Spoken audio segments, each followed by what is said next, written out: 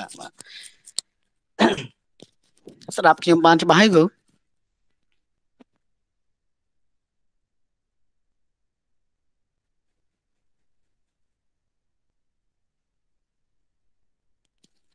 ហេឡូជំរាបសួរបានបាទសុំតំណាងខាងវិទ្យាល័យម្នាក់មក និយាយពីត្រេងដែងព្រោះកាលថ្ងៃមុនយើងបានរៀនម្ដងដែរហើយ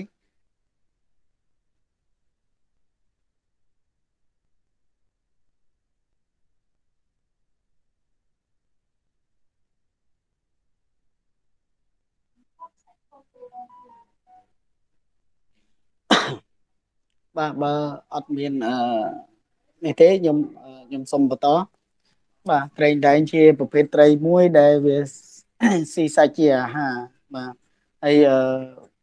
យើងតែងឃើញវាអឺនៅតាមតាពាំងបឹងស្ទឹងទលេអីជាដើមបាទហើយត្រេងដែងនេះវាអាចរស់នៅធន់នឹងមជ្ឈដ្ឋានជុំវិញបាទមិនថាអឺទឹកដែលមានជាតិពុលច្រើនឬក៏ទឹកនឹងសភាពមិនទេអញ្ចឹងវាអាចរស់នៅបាន គ្រប់មជ្ឈដ្ឋានដែលវាបន្ស៊ាំទៅបាទហើយមួយទៀតកម្រិត potential ដែលយើងនិយមហៅថា pH នោះបាទអញ្ចឹងវាអាចរស់នៅបានពី6ទៅ8.5ហើយវាអាចរស់នៅអាចទៀបពី4.5ឡើងទៅដល់5.6ផងដែរបាទបើសិនជាឬក៏អាចឡើងដល់ទៅ8.5ទៅ9 បាទអញ្ចឹងរយៈពេលចិញ្ចឹមរបស់វាត្រីត្រីអឺជាមធ្យមគឺវាអាចអឺពី2ខែកន្លះទៅ3ខែទម្ងន់វាចន្លោះចន្លោះពីអឺមួយខាំពីរខាំកន្លះបាទអញ្ចឹងអឺនៅនៅក្នុងរូបនេះអឺត្រីនេះ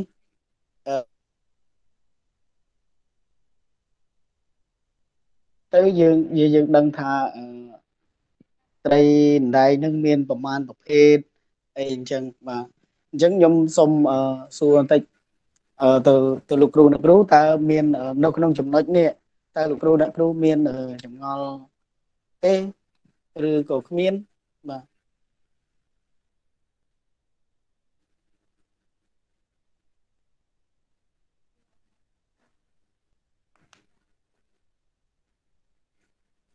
បាទបើมันមានចម្ងល់អីទេខ្ញុំសុំទៅ slide បន្ទាប់អញ្ចឹងនេះជាលក្ខណៈទូទៅតអញ្ចឹងប្រភេទត្រីនៅក្នុងស្រុករបស់យើងរាល់ថ្ងៃនេះគឺត្រីដែងគឺមាន3 3ប្រភេទដែលដែលយើងនិយាយតែនៅក្នុងវិរិយវប្បកម្មទេបើស្អីយើងលើកទៅក្រៅទៀតវាមានច្រើនអញ្ចឹងខ្ញុំនិយាយតែប្រភេទត្រីដែល ចិញ្ចឹមរាល់ថ្ងៃហ្នឹងដែលគេលក់នៅលើទីផ្សារហ្នឹងអញ្ចឹងអឺត្រី3ប្រភេទនេះគឺគឺគឺមានអំបូរតែមួយទេគឺត្រីអណ្ដែងតែមួយទេប៉ុន្តែខុសគ្នាត្រង់ថាអាមួយនេះគឺជាប្រភេទត្រីដែលនាំចូលអញ្ចឹងបាទវាជាប្រភេទត្រីអណ្ដែងអាហ្វ្រិកបាទហើយអាមួយនេះគឺជាប្រភេទត្រីត្រីស្រែរបស់យើងបាទដែល ជាប្រភេទត្រីអណ្ដែងទុនបាទហើយមួយនេះទៀតគឺអឺជាត្រីដែលដែលគេហៅថាពពួកកូនកាត់បាទអណ្ដែងកូនកាត់គេហៅថាសាច់លឿងសាច់អីហ្នឹងបាទអញ្ចឹងដែលគេនិយមចិញ្ចឹមជាងគេរាល់ថ្ងៃនេះគឺប្រភេទមួយនេះបាទគឺអណ្ដែងស្រែរបស់យើងនៅក្នុងនឹងហើយតម្លៃទីផ្សាររបស់វាហ្នឹងក៏សមរម្យ ហើយគុណភាពសាច់របស់វានោះគឺឆ្ងាញ់បាទប៉ុន្តែមួយទៀតនៅតាមទីផ្សាររបស់យើងដែលដែលកំពុងតែបន្តលក់កូនពូជសពថ្ងៃហ្នឹងគឺគឺយើងនេះយើងយកប្រភេទត្រីមួយនេះដែលគេហៅថាអណ្ដែងសាច់លឿងសាច់លឿងតាមពិតវាជាប្រភេទកូនត្រីជាត្រីអណ្ដែងកូនកាត់អញ្ចឹងណាបាទ គេប្រកាសពីអាហ្វ្រិកនេះអឺជាមួយត្រីដែងនៅក្នុងស្រុករបស់យើងដើម្បីឲ្យវាមានការលូតលាស់ហើយធន់ទៅនឹងជំងឺហើយសាច់របស់វាក៏មានរសជាតិឆ្ងាញ់ផងដែរបាទ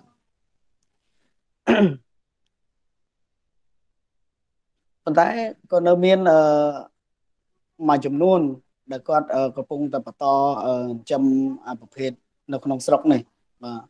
ហើយ នៅខាងវរីវប្បកម្មរបស់យើងក៏កំពុងតែឈានឈានជើងទៅមួយថាគោលដៅគឺប្រកាសនេះពូជនេះគឺនឹងពូជនឹងឲ្យបានទៅជានេះមួយបាទ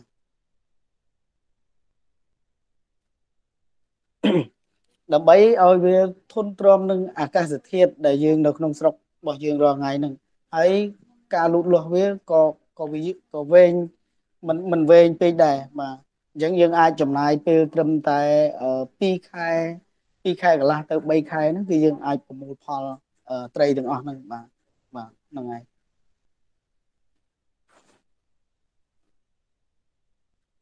បាទនៅក្នុងចំណុចនេះដែរតើលោកគ្រូអ្នកគ្រូមានចម្ងល់អីទេ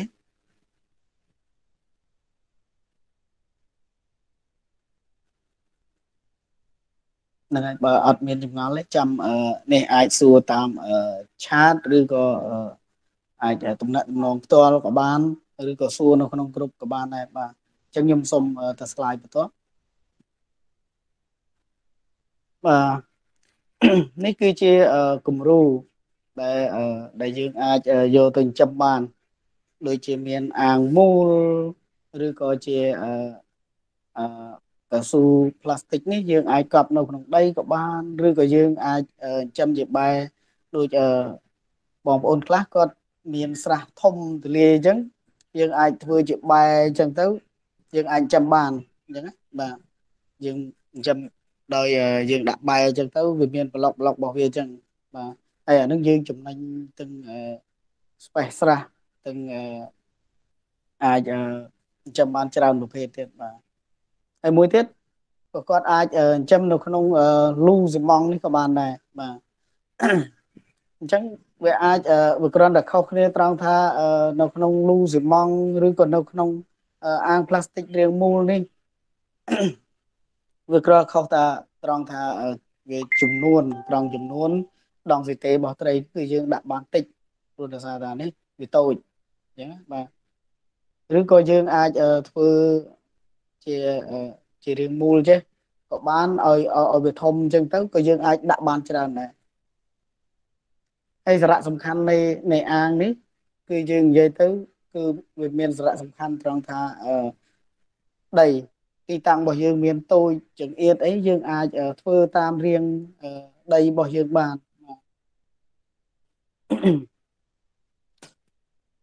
បាទអញ្ចឹងអឺខ្ញុំសូមបន្តទៅមុខបន្តិចទៀត បាទហើយនេះមិញយើងឃើញមូលហើយឃើញជាបែជាអីចឹងនេះហើយយើងក៏អាចធ្វើជារៀងជ្រុងជារៀងអីក៏បានដែរអានឹងអាស្រ័យទៅលើទីតាំងដែលយើងអឺមានឧទាហរណ៍ថាអ្នកខ្លះចឹងគាត់ធ្វើទីតាំងនឹងមានដីទលាអញ្ចឹងគាត់ធ្វើធំអញ្ចឹងទៅបាទអញ្ចឹងគាត់ធ្វើជាប់ជាប់ជាប់គ្នាអញ្ចឹងទៅហើយ model ទាំងអស់នេះគឺយើងមិនអាចវាវាមិនចំណាយទុនខ្ពស់អីពេកទេបាទដោយសារតែយើងយើងប្រើដែលយើងចំណាយខ្ពស់នោះគឺយើងទិញពពួកពពួកផ្លាស្ទិកហ្នឹងបាទដូចសម្ភារៈមួយចំនួនយើងមានដូចជាអាស័យដូចកូនឈើអីហ្នឹងកន្លែងខ្លះគឺមានជាពិសេសនៅខាងស្វាយរៀងសបោអឺកន្លែងកូនកាសាទូទូចឹងបាទ អធិស្ឋានលោកគ្រូលោកគ្រូមានគាត់លើកដៃស៊ូគ្រូបាទបាទមិញខ្ញុំដោយសារតែមើលនៅក្នុងនេះអត់ឃើញទេនៅនេះបាទបាទមកបាទអាចមានសំណួរខាងណាដែរបាទលោកគ្រូជាទូទៅគេដាក់វាបានកូនម៉ែក្នុង1ម៉ែត្រគីបឬ1ម៉ែត្រការ៉េហ្នឹងគ្រូបាទអឺអាតកតងនឹងដងស៊ីតេហ្នឹងយើងនៅមេរៀនខាងមុខហ្នឹងខ្ញុំនឹងបញ្យលឲ្យក្បោះបាយហើយ ខ្ញុំអរគុណលោកគ្រូដែលបានមានសំណួរឲ្យចូលរួមណាបាទអញ្ចឹងអានេះខ្ញុំបង្ហាញនេះជាច្បល់ច្បល់សិនទេឲ្យលោកគ្រូមើលក្រែងលោថា ដែលទទួលបំណិនពីសាកលវិទ្យាល័យស្វាយរៀងទៅ ដើម្បីឲ្យយកធ្វើជាគំរូអញ្ចឹងតើដីលោកគ្រូនៅកន្លែងណាអាចធ្វើបានហើយតកតងនឹងដងស៊ីតេហ្នឹងខ្ញុំនឹងនិយាយលម្អិតនៅខាងស្លាយបន្ទាប់ណាគ្រូបាទហ្នឹងហើយអរគុណគ្រូ មានមានចម្ងល់អីទៀតទេគ្រូបាទបាទនៅក្នុងចំណុចហ្នឹងបាទបាទអរគុណគ្រូអត់ទេបាទបាទបាទបាទបាទអញ្ចឹងតកតងនឹង model ទាំងអស់នេះ គឺយើងអាស្រ័យតាមទីកន្លែងទីតាំងរបស់យើងបាទឧទាហរណ៍ថាបើសិនជាបងដីខាងកន្លែងលោកគ្រូអ្នកគ្រូអញ្ចឹងទីតាំងកលាយយើងអាចធ្វើជារៀងជ្រុងអញ្ចឹងក៏បានដែរដោយសារតែអឺ បើយើងធ្វើជ្រុងនេះយើងអាចចិញ្ចឹមបានបានច្រើនបាទអញ្ចឹងខ្ញុំសុំទៅស្លាយបន្ទាប់នេះអឺចំណុចខនេះគឺយើងនិយាយពីសម្ភារៈបាទអញ្ចឹងសម្ភារៈទាំងអស់ហ្នឹងគឺយើងអាចរកបាននៅក្នុងសហគមន៍របស់យើងបាទដូចជាអាស័យនេះអឺគឺមានច្រើនណាស់បាទស្ទើរតែគ្រប់ភូមិគ្រប់ស្រុកហើយបាទកូនឈើក៏គេមានលក់ដែរហើយអឺ ហើយតម្លៃនេះក៏វាក៏រៀងសមរួមដែរហើយខ្ញុំមិនដឹងថាវាតម្លៃបើកូនឈើនេះតម្លៃតាមស្រុកខ្លះអញ្ចឹងក៏គេលក់ថ្លៃប៉ុន្តែកន្លែងទៀតក៏គេលក់ធូរថ្លៃបើសិនជាយើងមានខ្លួនយើងសម្ភារៈទាំងអស់ហ្នឹងគឺកាន់តែពិសេសបាទហើយសម្ភារៈរបស់វានេះគឺមានកស៊ូតង់បាទដែលយើងហៅថាផ្លាស្ទិកហ្នឹងបាទហើយមួយទៀត យើងអាចយកអាសាច់លាតក៏បាន ឬក៏មានអឺបោះដែលគេផលិតហ្មងគេមានជាជ្រុងជាអីសម្រាប់យើងទៅទៅធ្វើត្មងបាទគ្រាន់តែយើងកំងវិជាវិជាទិញពីគេទៅគេអឺហើយយើងប្រាប់ទំហំប្រាប់អីគេគេគេដាក់ឲ្យតាមហ្នឹងហើយបាទបាទហើយមួយទៀតកូនឈើឬក៏បកគោលឫស្សីអញ្ចឹងយើងអាចធ្វើបានទាំងអស់ បើយើងមានកូនឈើយើងអត់អាស័យក៏បានដែរឬក៏យើងគ្មានកូនឈើយើងមានតែអាស័យក៏ប្រើបានដែរបាទទោះជាបកគោលរបស់វានឹងប្រើឈើត្រូវប្រើអីក៏ដោយបាទក៏យើងអាចប្រើអាស័យនេះជំនួសឈើក៏បានឬក៏យើងប្រើឈើជំនួសអាស័យក៏បានបាទហើយនេះអឺខ្ញុំគ្រាន់តែនិយាយច្បល់ច្បល់ទៅហើយអឺសម្ភារៈទាំងអស់នេះគឺវាសិតតែសំខាន់ហើយអញ្ចឹងគឺមានតែ ប៉ុណ្ណឹងឬក៏អាចយើងមានការកែច្នៃលោកគ្រូអ្នកគ្រូទាំងអស់ហ្នឹងមានគំនិតអីច្រើនជាងហ្នឹងក៏អាចបន្ថែមទៀតដែរមិនមែនថាសម្រាប់ថាសម្ភារៈប៉ុណ្ណឹងដាក់ទៅគ្រប់គ្រាន់ទេបាទនៅមានច្រើនទៀតបាទអញ្ចឹងខ្ញុំសុំទៅ slide បន្ទាប់មួយទៀតនេះសម្ភារៈអញ្ចឹងអានេះគឺជា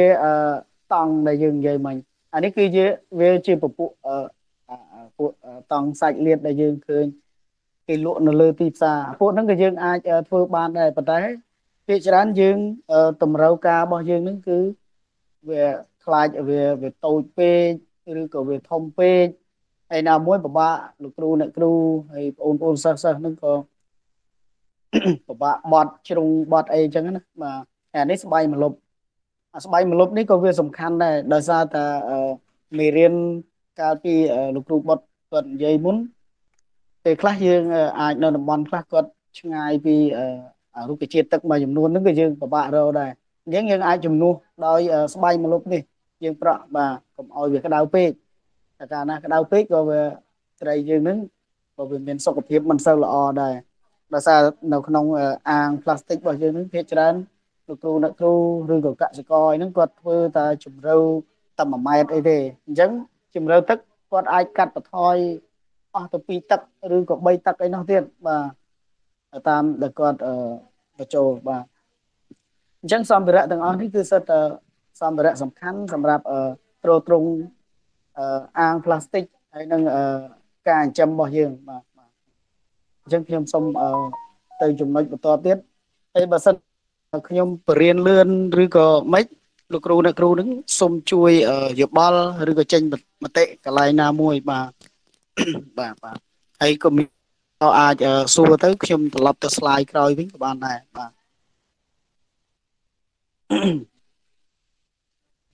បាទនេះតកតងនឹងការសាងសង់បាទអញ្ចឹងនៅក្នុងចំណុចនេះតើអឺលោកនាយកឬក៏លោកគ្រូអ្នកគ្រូឬក៏សិស្សានុសិស្សអមានចម្ងល់ទេនៅក្នុងចំអាចនិយាយមួយបាទបាទ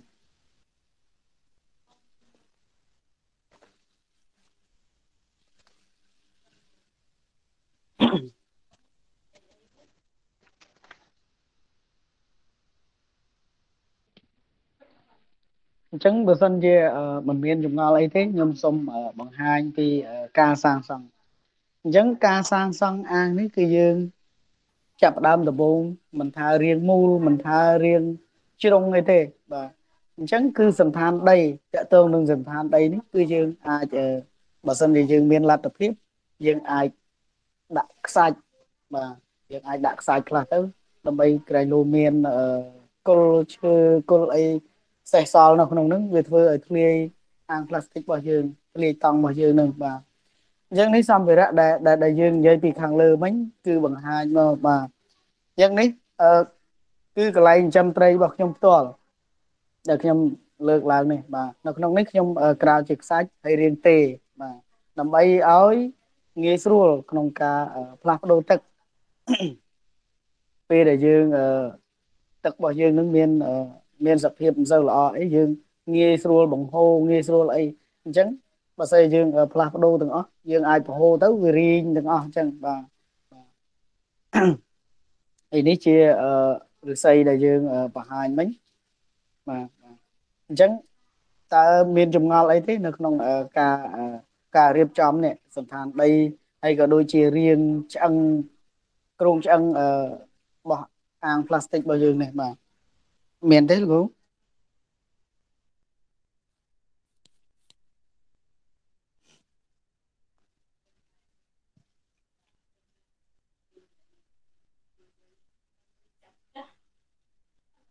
បាទហើយមួយទៀតនេះរូបភាពអាងនេះអញ្ចឹងទោះយើងកន្លែងខ្លះគាត់មិនសូវជាអឺមិនសូវជាមានសម្ភារៈគ្រប់គ្រាន់ដូចជាអស័យឬក៏ឈើបាទ អញ្ចឹងយើងអាចប្រើជាសំណាញ់នេះក៏បានដែរសំណាញ់លួនេះបាទដើម្បីទប់អាងរបស់យើងនឹងកុំឲ្យវាជ្រែងចុះជ្រែងឡើងបាទហើយនេះយើងចំណាយកាន់តែតិចទៀតទេនេះបាទយើងប្រើតែលបារបស់វានេះតែ3ទេហើយបកគោលគឺយើងដាក់តាមលទ្ធភាពដែលយើងមានហើយមួយទៀតបើសិនជាយើងរៀងវែងអញ្ចឹងយើងដាក់យើងដាក់បកគោលឲ្យរៀងច្រើនទៅក៏វាល្អដែរ ដើម្បីឲ្យមមយូរឆ្នាំអញ្ចឹងណាបាទបាទហើយមួយទៀតមួយនេះគឺរបៀបដំឡើងអញ្ចឹងអឺសាច់ផ្លាស្ទិកនេះគឺមានរាងស្មើទេបាទតែយើងធ្វើមិនឲ្យវាមានជ្រុងមានអីឲ្យត្រូវនឹងដែលក្រងឆ្អឹងរបស់យើងដែលដំឡើងនេះបាទអញ្ចឹងនៅក្នុងនឹងគឺយើងនេះអាចបត់នៅកន្លែងចែកនេះយើងតម្រូវតាមមួយចំហៀងនឹងសិនទៅ រួចចាំយើងតម្រូវនៅចែកខាងនេះបាទប៉ុន្តែមិនមែនថាបត់បត់ម្ដងទៅត្រូវទេ គឺយើងត្រូវត្រូវទាញធ្វើម៉េចឲ្យវាស្មើសាច់ហើយកុំឲ្យវាជ្រួញនៅផ្នែកកណ្ដាលនេះបាទបាទហ្នឹងហើយអញ្ចឹងទៅដល់ពេលលោកគ្រូអ្នកគ្រូចាប់ដើមរៀបចំកន្លែងចិញ្ចឹមហ្នឹងទៅលោកគ្រូអាចសួរតកតងមកខ្ញុំអំពីអាការដំឡើងការអីហ្នឹងហើយ និយាយរួមទៅអាអាតឡើងនេះក៏វាមិនមែនស្រួលប្រហែលដែរនេះបាទអញ្ចឹងអាចតកតងជាក្រោយបានបាទអញ្ចឹងខ្ញុំសុំស្លាយបន្តនេះដែលយើងឃើញអាងពីលើពីដំបងមិញបើសិនជាកន្លែងលោកគ្រូអ្នកគ្រូនឹងឬក៏បងប្អូនសិស្សសានុសិស្សនឹងគាត់មានទីតាំងឬក៏គាត់ចង់ប្រកប អាជីពជាអ្នកចិញ្ចឹមត្រីយើងអាចអនុវត្តធ្វើតាមនឹងបាននេះជា model មួយដែលល្អអញ្ចឹង model នេះគឺវាឥឡូវនឹងទទួលការចាប់អារម្មណ៍ពីវិជាកសិករយ៉ាងច្រើនបាទពេលអ្នកពួកគាត់ធ្វើបានច្រើនណាស់បាទអញ្ចឹងអានេះយើងចំណាយមានអត់មានខ្សាច់មានអីចឹងទៅបាទហើយនេះគឺជាពយោពហុទឹកហើយនេះគ្រាន់តែជារូបភាពអឺ ជាចំណាប់អារម្មណ៍ដល់លោកគ្រូអ្នកគ្រូអឺយក model តាមបើសិនលោកគ្រូអ្នកគ្រូអីមានមានទុនឬក៏លទ្ធភាពគ្រប់គ្រាន់អីហ្នឹងយើងអាចអនុវត្តធ្វើអាហ្នឹងក៏បានដែរប៉ុន្តែបើសិនយើងសាកល្បងដបងដបងអីយើងអាចធ្វើតែຂະຫນាតតូចអីក៏បាន ឬក៏យើងចាប់ផ្ដើមអញ្ចឹងហ្មងក៏បានដែរព្រោះមិនភ័យថាអញ្ចឹងទៅមិនជោគជ័យទេឲ្យតែអនុវត្តតាមបច្ចេកទេសបាទ បាទចំណុចនេះក៏សំខាន់ដែរដល់ពេលយើងដំឡើងអាងហើយអញ្ចឹងយើងអត់អត់តដឹងថាយើងចោះរុនទៅកន្លែងណាកន្លែងណាឯងយើងអញ្ចឹងទីតាំងនៃការចោះរុននេះយើងអាចចោះនៅចំហៀងខាងនេះក៏បានខាងនេះក៏បានខាងណាក៏បានដែរស្រេចតែយើងស្រឡាញ់ប៉ុន្តែខាងណាខាងណាទេទៅខាងណាគឺយើងចោះនៅខាងហ្នឹងដោយសារតែ ព្រោះយើងត្រូវការផ្លាស់ប្ដូរទឹកទៀតបាទហើយរូបភាពនេះមួយទៀតរូបភាពនេះគឺអឺយើងគូនេះគ្រាន់តែឲ្យឃើញថាបំណែកដែលដែលយើងចោះនេះគឺយើងត្រូវគូសជាអញ្ចឹងព្រោះទយោរបស់យើងគឺមានរាងអញ្ចឹងបាទរាងមូលអញ្ចឹងអញ្ចឹងបំណែកមួយមួយនៃអឺនៃអាការកាត់របស់យើងនេះគឺគឺយើងទុកដើម្បីចង កុំឲ្យវារួញសាច់រួញសាច់តង់បាទអញ្ចឹងនេះនេះរូបនេះនេះខ្ញុំចោះជាសញ្ញាលេខបូកអញ្ចឹងមកយើងកាត់ប៉ុណ្ណឹងប៉ុន្តែកុំឲ្យលឹះដល់នេះពេកតែលឹះដល់នេះពេកយើងដាក់ទៅវាវាអាចធំជាងវីដេអូរបស់យើងវាធ្វើឲ្យយើងនឹងពិបាកចងពិបាកអីបាទអញ្ចឹងមួយទៀតតយោនេះមិនមែនយើងបហូរទឹកឡើងលើទេឃើញដាក់ឆ្កិលអញ្ចឹងបាទអញ្ចឹង គឺនៅក្រោមនេះគឺយើងមានកែងមួយ សម្រាប់បង្ហូរចេញទៅក្រៅនេះបាទអញ្ចឹងកាលណាដែលយើងអឺអាកន្លែងចងនេះយើងអាចចងជាកស៊ូពោះវៀនម៉ូតូ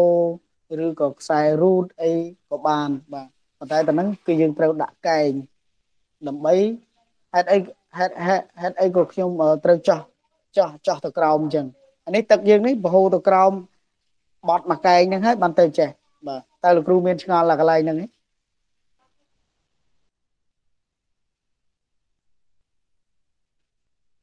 បាទមានមានមានសំណួរឬក៏មានចម្ងល់អីកន្លែងកែងហ្នឹងទេបាទ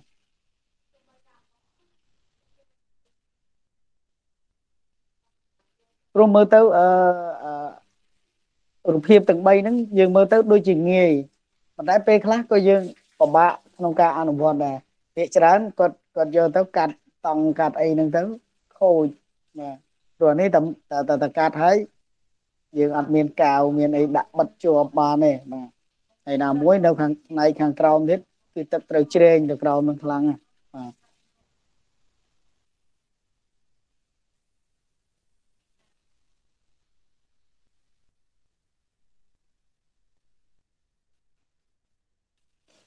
ទ នៅចំណុចនេះមានលោកគ្រូអ្នកគ្រូតននេះបាទ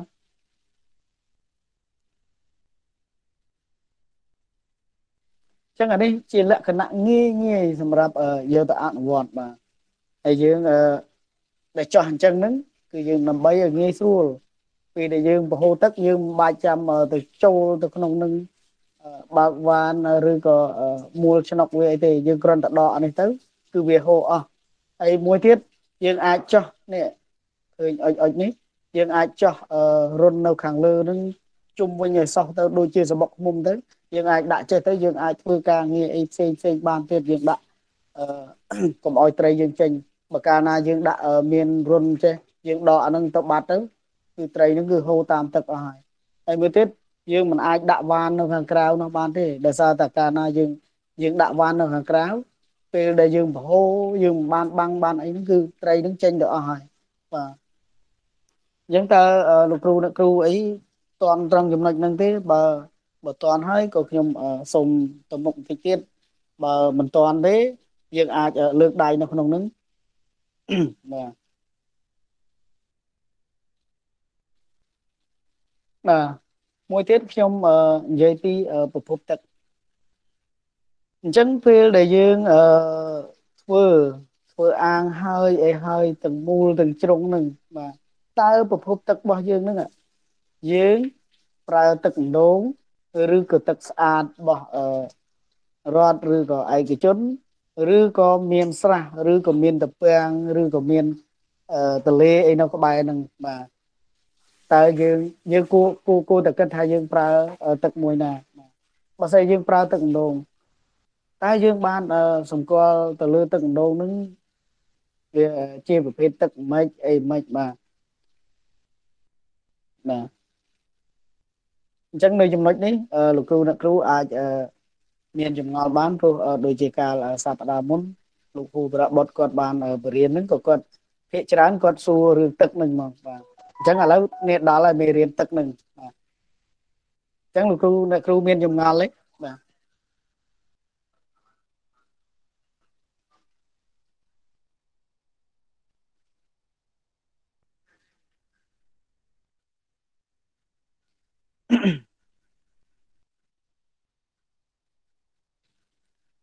អញ្ចឹងលោកគ្រូទឹកបាទទៀតលោកគ្រូបាទបាទបាទបាទអរគុណសូមទឹកមួយហ្វិនលោកគ្រូមានជាតិខ្លាអឺសុំអឺប្រាប់ឈ្មោះផងហើយមកពីសាលាណាអីសាលាណាបាទអរជំរាបលោកគ្រូខ្ញុំមកពីសាលា ជាឡាយប្រៃតដុកខ្ញុំឈ្មោះថាហេងសំខាន់បាទបាទអឺខ្ញុំចង់ពោលថាលោកគ្រូបើទឹកមួយហ្វិនទឹកចេញមកពីប្រតកមានជាតិខ្លោទៅធ្វើឲ្យទៅលោកគ្រូបាទបើសិនជាយើងមានជាតិខ្លោមានអីហ្នឹងយើងអាចបញ្ចូលពី2ថ្ងៃទៅ3ថ្ងៃហើយយើងមានជាអ្វីមួយដែលត្រង់យើងអាចត្រង់បំបែកទឹកហ្នឹងណាឲ្យពេលពេលដែលយើងបង្ហូរចូលហ្នឹង មិនមិនមែនឲ្យចូលទៅ direct ហ្មងទេគឺយើងត្រូវដាក់សង្កសីឬក៏ធុងអីចឹងឲ្យវាហូរប៉ះអាហ្នឹងទៅទឹកយើងមិនសាចនៅក្នុងហ្នឹងបាទអញ្ចឹងវាអាចបំបែកបំភាយពួកក្លហ្នឹងបានបានខ្លះបាទហើយមួយទៀតយើងអាចបើសិនជាយើងមិនបានអនុវត្តធ្វើអញ្ចឹងទេយើងអាចទុកវារយៈពេល2ទៅ3ថ្ងៃអញ្ចឹងណាបាទដើម្បីបំភាយក្លនឹងចេញបាទហ្នឹងហើយអរគុណសម្រាប់សំណួរបាទបាទ យើងស្តុកវាចោលលោកគ្រូណាបាទបាទស្តុកចោលស្តុកចោលទៅបាទបាទខ្ញុំសូមមានយោបល់ចូលរួមបន្តិចលោកគ្រូខ្ញុំជានាយករងវិទ្យាល័យហ៊ុនសែនអឺរតនគិរីបាទជើងគ្រូជាទូទៅបាទជាទូទៅទឹកខ្លអូទឹកគីបនេះបើសិនណាជាយើងយកមកយើងស្រោចវាផ្ដាល់លោកគ្រូបាទបាទគឺតំណាំយើងនឹងគឺ ស្លោកផ្លឹកតែមកអត់អត់រស់ទេបាទបាទបាទបាទប្រហែលជាជាតិក្លហ្នឹងវាទៅសម្អាតរឹសបាទបាទធ្វើឲ្យរឹសរុក្ខជាតិដំណាំយើងហ្នឹងវាអត់វាវាទៅជាច្រាស់អស់ទៅវាវាកាត់ណាបាទវាអត់មានបើជីវជាតិពីអាដែងដីទៅដែលយើងដាក់ជីទៅទេយោបល់ខ្ញុំថាយកល្អយើងយកទឹកគីបនឹងមក យើងធ្វើអាងស្តុកមួយសិនទៅ យើងបូមវាដាក់ទៅហើយយើងត្រាមជាដើមកន្ទ្រៀនខេតដើមស្អីទៅឬក៏ត្រាមជាពីមុខគោអីចឹងទៅ ដាក់ជាបេទៅណាត្រាមវាទៅ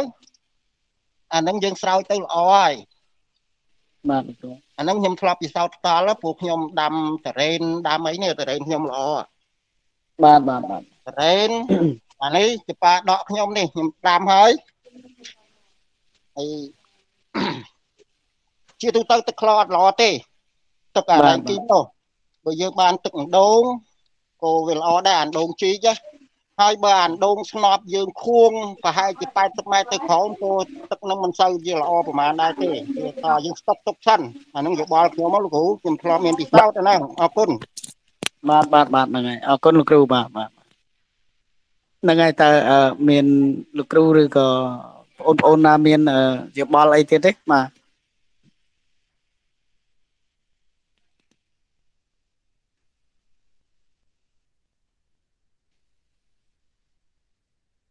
បាទជាការពិតចំពោះទឹកដែលមានជាតិក្លនៅក្នុងនឹងគឺដូចរដ្ឋកោទឹករបស់យើងនឹងគឺយើងមុននឹងគាត់បូមពីដងឬក៏ពីក្រោមដីនឹងទៅ គឺគាត់អាចយកទៅស្តុកហើយអញ្ចឹងហេតុអីក៏យើងអាចបញ្ចូលទៅក្នុងអាង2ទៅ3ថ្ងៃយើងអាចដាក់ត្រីចិញ្ចឹមបានដោយសារតែពេលដែលគាត់បង្ហូរទៅគឺបញ្ចូលនៅក្នុងអាងស្តុករបស់គាត់ហើយអញ្ចឹងបាទអញ្ចឹងយើងយើងគ្រាន់តែទៅចំណាយពេលទៅ2 3ថ្ងៃទៀតទេឬក៏យើងបន្ថែមនៃការបំបែកជាតិក្លដែលយើងពហូរទឹកនឹងចូលទៅដោយដែលខ្ញុំប្រាប់ ពីខាងដើមមិញយើងអាចមានធុងឬក៏មានយើងធ្វើជាប្រព័ន្ធធ្វើម៉េចឲ្យឲ្យទៅចូលក្នុងអាងយើងនឹងឲ្យវាមានសាច់បាទតែកាលណាសាច់ទៅវាអាចបំភាយពួកក្លនឹងបានខ្លះហើយមួយទៀតយើងអាចដាក់ដាក់ត្រាំវាចោលនឹងទៅ ដើម្បីឲ្យវាភាយឡើងពីដែលវាប៉ះពលឺព្រះអាទិត្យបាទ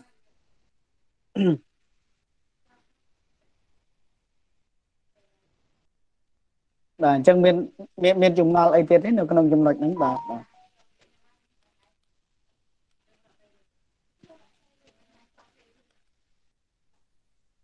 អឺដូចអឺ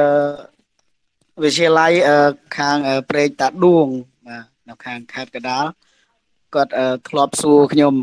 បាទអញ្ចឹងអឺនៅនៅនៅក្បែរក្បែរហ្នឹងគាត់មានដែលប្រភពទឹកដូចទឹកស្រែទឹកអីចឹង ឬក៏ទឹកទន្លេទឹកអីចឹងក៏វាមានជាតិពុលជាតិអីដែរតែយើងអាចយកមកធ្វើម៉េចបាទពីដំបូងដែលគាត់សួរខ្ញុំ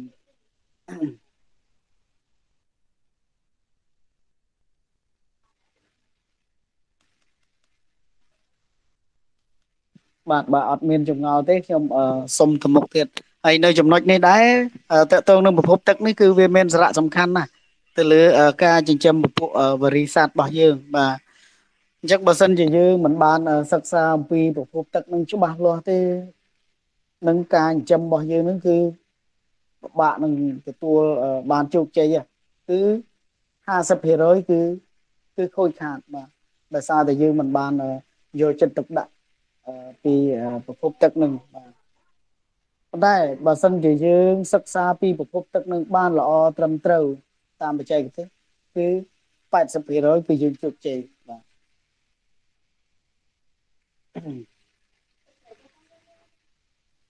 អញ្ចឹងខ្ញុំសូមចូលទៅចំណុចមួយទៀតបាទមិញនេះយើងយល់ដឹងពីប្រភពទឹកបាទមានទឹកម្ដងទឹកស្អាតមានតាំងពីទឹកទន្លេឬក៏ទឹកស្រះទៅពាំងអីនៅក្បែរហ្នឹងបាទអញ្ចឹងនេះគឺយើងអនុវត្តបញ្ចូលទឹកបាទអញ្ចឹងបញ្ចូលទឹកហ្នឹងគឺ ធម្មតាអាងរបស់យើងបើស្អែធ្វើរបៀបនេះវាអាចថ្ងៃក្រោយអីវាអាចជ្រែងចេញជ្រែងអីហើយបាទបាទ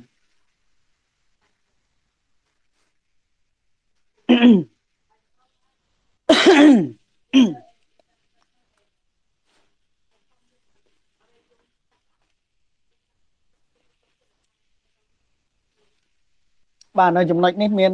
ចម្ងល់អីទេមើលមើលរូបភាពអាងនឹងមើលគ្រូអ្នកគ្រូ បាទ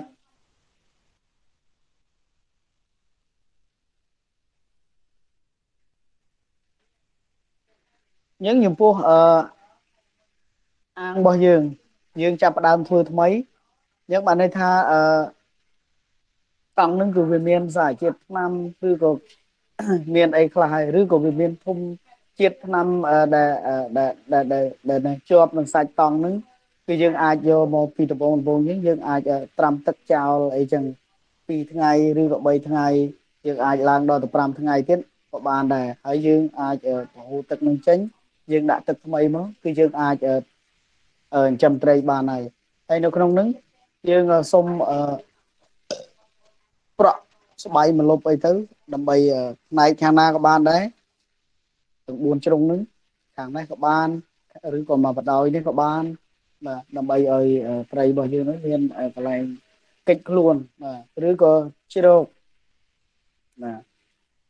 ហើយមួយទៀតរុក្ខជាតិទឹកក៏យើងត្រូវដាក់ខ្លះដែរនៅក្នុងហ្នឹងបាទបាទនេះតកតងនឹងគុណភាពទឹកអញ្ចឹងនៅក្នុងមេរៀនមុនអឺលោកពូវរៈបុតគាត់បាននិយាយលម្អិតដែរ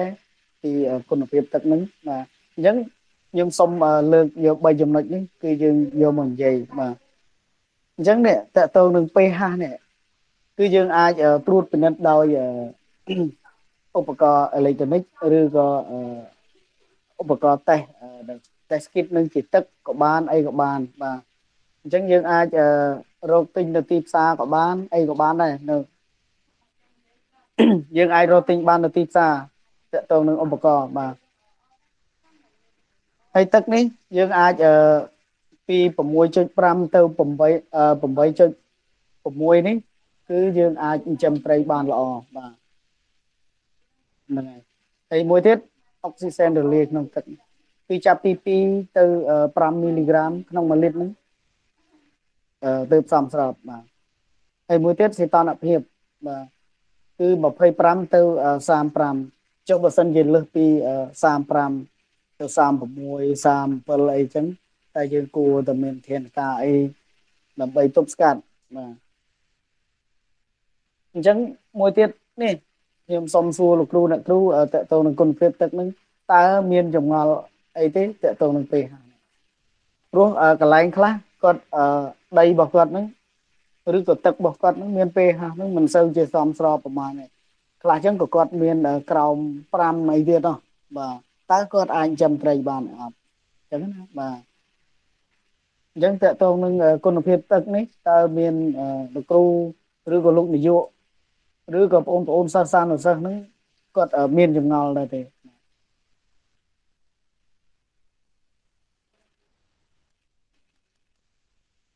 បាទអញ្ជើញលោកបុតបាទលោកបុតគាត់លើកដៃចង់មានអីបន្ថែមអញ្ជើញគ្រូបាទបាទបាទបាទអរគុណច្រើនបាទបាទ គុណច្រើនលោកគ្រូសម្បត្តិត្រង់ចំណុចហ្នឹងប្រហែលជាគ្រូដាក់មកលើសហើយត្រង់ចំណុច pH ហ្នឹង pH អត់មានຂະຫນາតទេ pH ហ្នឹងលោកគ្រូដាក់មកលើសហ្នឹងកន្លែងហ្នឹងចង់និយាយអឺកន្លែង P លើសនេះហ៎បាទអឺអត់អីទេអាហ្នឹងបាទបាទត្រង់ចំណុចហ្នឹងអីអីមានចំណុចអីបន្ថែមទៀតទេលោកគ្រូបាទបាទដូចជាអត់មានអីបន្ថែមទេព្រោះអី3ចំណុចហ្នឹងគឺជាចំណុចដែលសំខាន់ហើយទីមួយគឺ pH ទឹក pH ហ្នឹងវាកំណត់ អាស៊ីតបាសនៅក្នុងទឹកហ្នឹងដែលធ្វើឲ្យត្រីហ្នឹងរស់នៅស្រួលហើយចំពោះ DO យើងមើលទៅដូចវារៀងទៀបចំពោះត្រីណៃហ្នឹងព្រោះអីវាមានគេថាប្រព័ន្ធដកដង្ហើមរងវាអញ្ចឹងវាអាចធន់ទៅនឹងកម្រិត DO ដែលទៀបបាទហើយចំពោះសីតុណ្ហភាពគឺការរស់នៅរបស់វាគឺសមស្របសម្រាប់ទុកបាទបាទបាទទុកពេចមកអរគុណអូខេណាអរគុណបាទបាទអរគុណ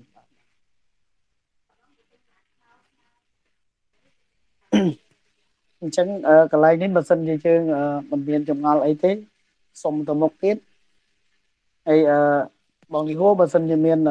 កន្លែងនេះអីដល់ម៉ោងសម្រាប់ដល់អីជួយប្រាប់ផងបាទនេះអឺគឺជាសម្ភារៈដែលយើងអាចតាមដានគុណភាពទឹកយើងបានឬក៏យើងប្រើជាអេឡិចត្រូនិក ឬក៏យើងប្រើជាទឹកបតក់នេះក៏បានដែរបាទហ្នឹងហើយហើយនេះគឺជារូបភាពដែលដែលយើងនិយាយពីអឺកម្រិតនៃ pH នៅក្នុងទឹកមិញបាទឧទាហរណ៍តើបើសិនជាពីត្រឹមនេះនេះពី6ចុចអឺ6ចុចនេះត្រឹម6ទៅ0នេះគឺយើងអាស៊ីតដែរបាទបាទ អញ្ចឹងបើសិនជាយើងចាប់ពីចំណុចនេះទៅនេះបាទអាល់កាលីនបាទហើយត្រឹមនេះគឺយើង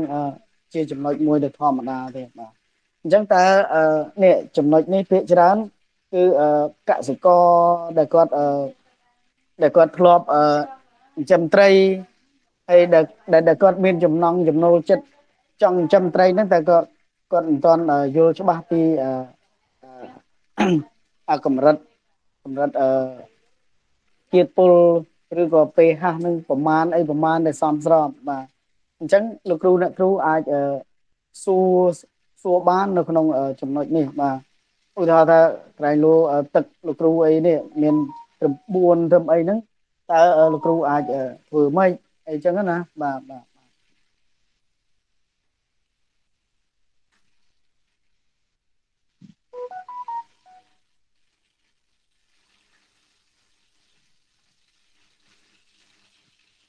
បាទសូមអធិស្ឋានមកផ្លែ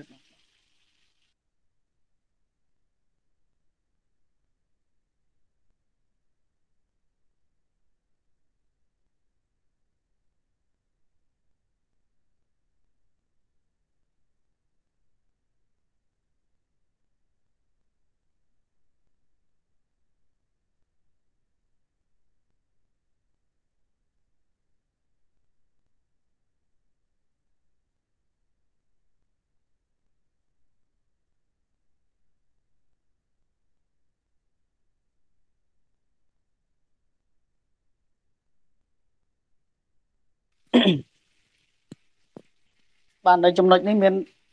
តនទេគ្រូអ្នកគ្រូបាទហើយតកតងនឹងសម្ភារៈនេះលោកគ្រូអ្នកគ្រូបើសិនជាចង់បានអីអាចតកតងមកខ្ញុំខ្ញុំអាចជួយទិញជួយអីបានបាទខ្ញុំអាចផ្ញើខ្ញុំអាចអូហ្នឹងហើយអឺសប្តាហ៍មុនដូចជាលោកគ្រូខាងណាដែលចាប់អារម្មណ៍រឿងពេលហាស់ហ្នឹងណា ខាងណាដែលបានឡូតទុកបាទឥឡូវលោកគ្រូខាងនោះអាចច្បាស់ហើយនៅបាទ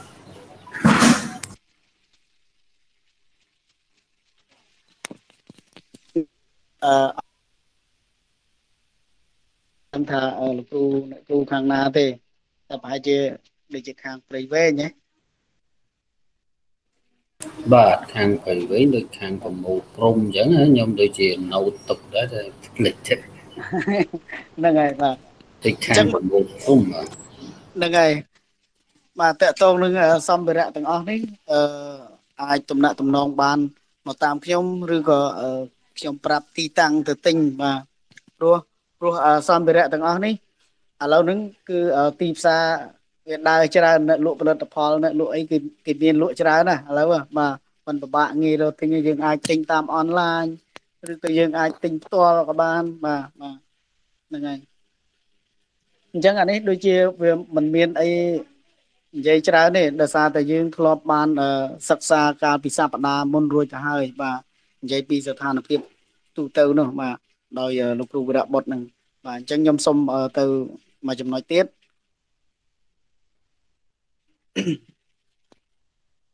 បាទនេះជាតារាងគុណភាពទឹក សម្រាប់គ្រប់គ្រងសុខភាពត្រីបាទអញ្ចឹងហ្នឹងហើយបាទអញ្ចឹងចំណុចទាំងអស់នេះគឺយើងមាន4 10បួក5 6 7ហ្នឹងគឺយើងអាចនិយាយពីគុណភាពទឹកទាំងអស់ដែលយើងអាចចិញ្ចឹមត្រីបាទអញ្ចឹងនៅក្នុងចំណុចនេះមានចម្ងល់មានចម្ងល់អីទេ នៅក្នុងចំណុចនេះបាទ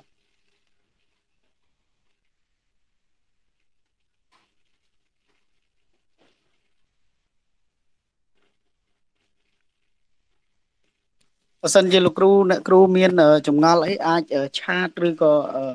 សួរសួរសួរបានតមាត់បាទហើយមេរៀននេះយើងអាចនេះរួចម្ដងហើយអញ្ចឹងខ្ញុំ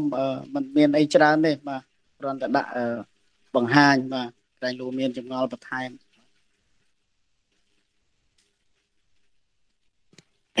នេះអឺចូលដល់ចំណុចសំខាន់មួយទៀតហើយការជ្រើសរើសពូជបាទអញ្ចឹងអឺការជ្រើសរើសពូជហ្នឹងវាពិតជាមានសារៈសំខាន់មែនតើយើងគួរជ្រើសរើសពូជយ៉ាងម៉េចយកមកចិញ្ចឹមបាទបាទតើលោកគ្រូអ្នកគ្រូមានគំនិតអីថាជ្រើសរើសពូជអឺរបៀបម៉េច ពូជក្រៅស្រុកឬក៏ក្នុងស្រុកអញ្ចឹង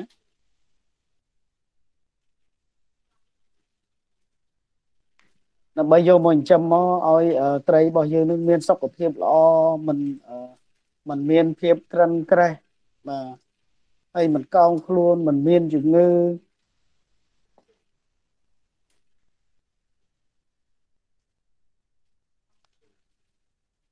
សុំសុំយោបល់ម្នាក់មួយម៉ាត់មកគ្រូ និយាយម្នាក់ឯងហ្នឹងនេះ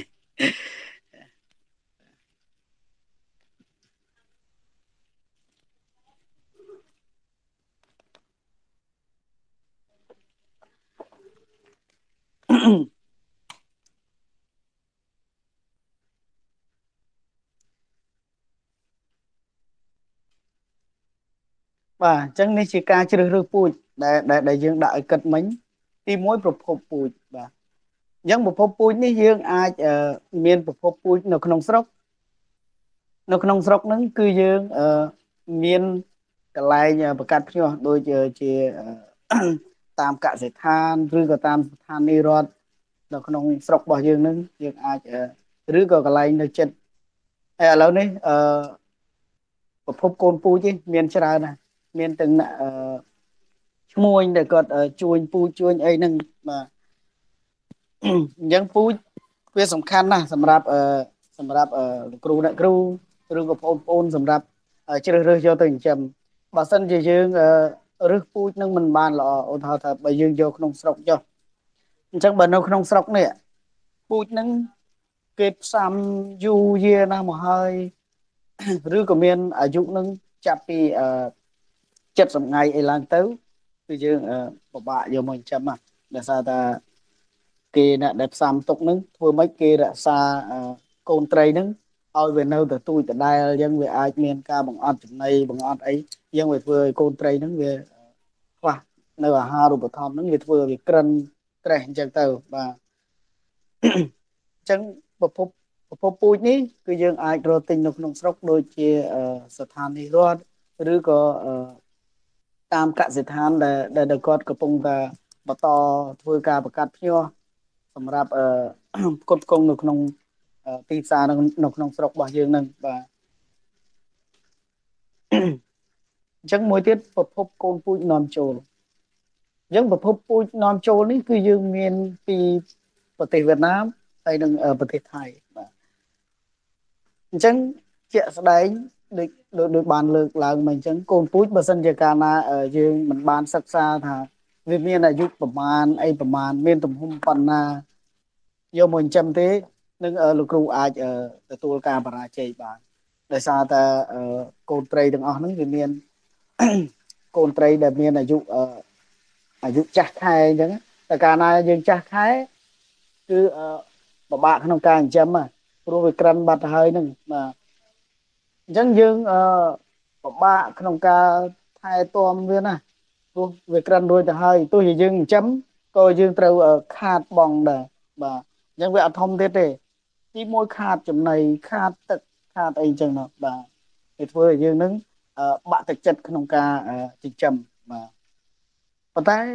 តកតងនឹងប្រភពពូជនេះបើសិនជាយើងបានគិតដិតដល់ល្អយើងអាចរើសយកពូជនឹងពីអាយុចាប់ពី45ថ្ងៃទៅបាទអញ្ចឹងគឺត្រីនឹងគឺកូនត្រីដែលមានទំហំចាប់ពី 7លីទៅ9លីបាទអញ្ចឹងយើងនឹងយកមកមិនភ័យរឿងថាបរាជ័យអីទេគឺដាក់ទៅដឹងតែកើតហ្មងបាទបាទនៅក្នុងចំណុចនេះតើអឺលោកគ្រូអ្នកគ្រូឬក៏មិនថាលោកគ្រូអ្នកគ្រូនៅតាមវិទ្យាល័យទេសូម្បីតែអឺលោកគ្រូយើងទាំងបកគោលទាំងអស់ហ្នឹងឬក៏អ្នកសម្របសម្រួលហ្នឹងមានចម្ងល់អី ចង់ដឹងអីក៏ក៏ក៏អាចសួរបានដែរបាទតកតងនឹងប្រភពពូជបាទ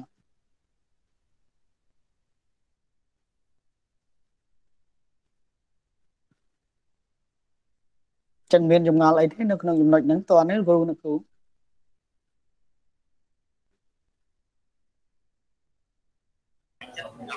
បាទខ្ញុំសូមសួរមួយលោកគ្រូ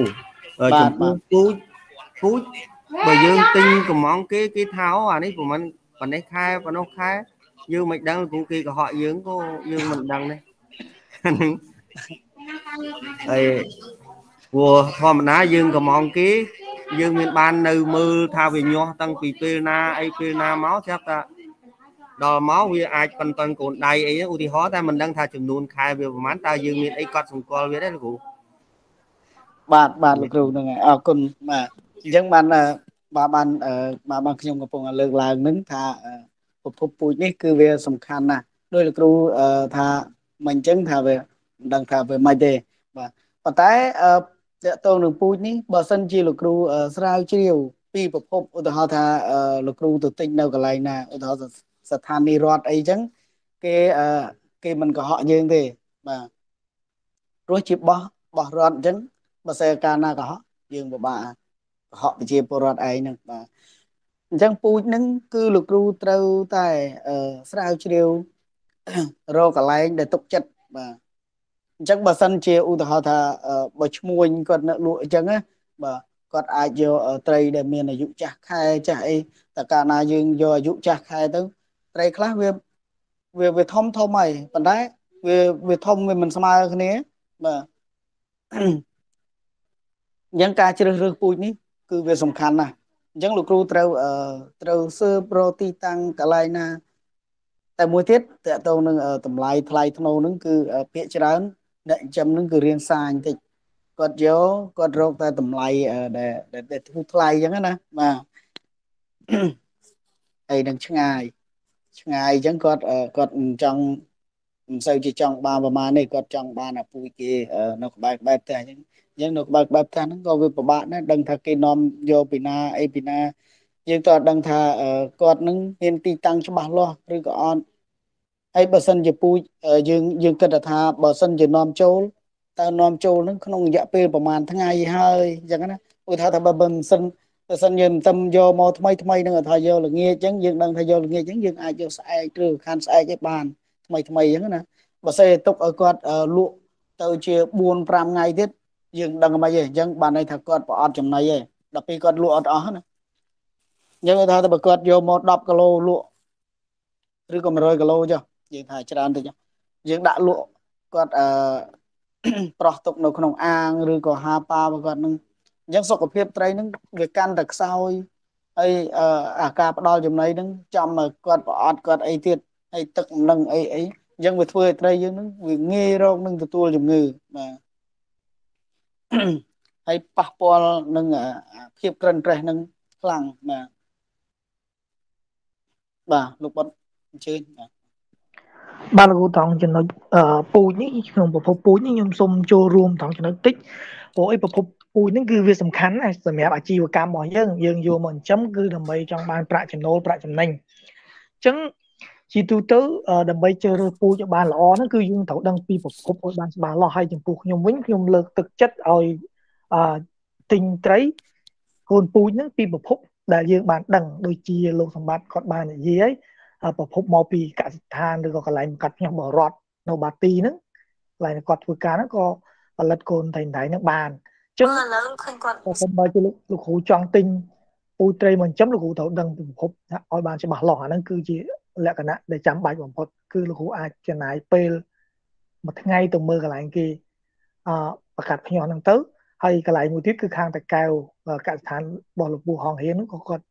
ផលិតដែរតែតែអញ្ចឹងឧទាហរណ៍បើសិនជាយើងដឹងប្រភពច្បាស់លាស់យើងទៅមើលថាទឹកត្រីរបស់យើងនឹងមានទំហំប៉ុណ្ណាដោយលោកបាត់គាត់លើកឡើង7លីទៅ9លីអាយុចាប់ពី45ថ្ងៃកំឡុងពេលហ្នឹងអញ្ចឹងយើងយើងបានដឹងឃើញយើងបានឃើញផងថាអូត្រីនេះ មុនយើងទិញហ្នឹងវាមានលក្ខណៈម៉េចអឺមានអឺទំហំប៉ុនគ្នា ដែលចិញ្ចឹមទៅវាអត់អាចស៊ីគ្នាហើយអឺខ្លួនរបស់វានឹងអត់មានរបួសអត់មានស្នាមអីចឹងយើងយកមកគឺយើងគិតថាអត្រារស់របស់វានឹងខ្ពស់អត្រាគង់វង្សវានឹងខ្ពស់ហើយការដឹកជញ្ជូននៅក្នុងស្រុករបស់យើងហ្នឹងក៏យើងដឹងថាដឹករយៈពេលអត់យូរទេដឹកមកដល់ផ្ទះយើងហ្នឹងគឺត្រីវាអាចរក្សានៅ សុខភាពល្អបើសិនជាយើងទៅទិញពពុះពូជដែលអត់ស្គាល់ប្រភពច្បាស់លាស់មិនដឹងថាគេប្រកាសមកនឹងជន់ឈាមដឹកមកនឹងដឹករបៀបម៉េចដឹកមកទុកយូរហើយបើអត់ចំណីបើអត់អីហ្នឹងគឺគឺធ្វើឲ្យគុណភាពត្រីហ្នឹងគឺអន់តែម្ដងយកមកចិញ្ចឹមគឺដូចគាត់លោកគ្រូបាទបាននិយាយក្រេះក្រិនអត់ធំយើងវាខាតពេលវេលាផ្ដល់ចំណីទៅអស់តលុយអត់ត្រីអត់ធំ2 3ខែបានចាប់ ចិញ្ចឹមចង់កន្លះឆ្នាំហើយអត់បានចាប់ចឹងយើងវាខាតខាតសេដ្ឋកិច្ចយើងគ្រូអរគុណបាទចូលរួមប៉ុណ្ណឹងបាទ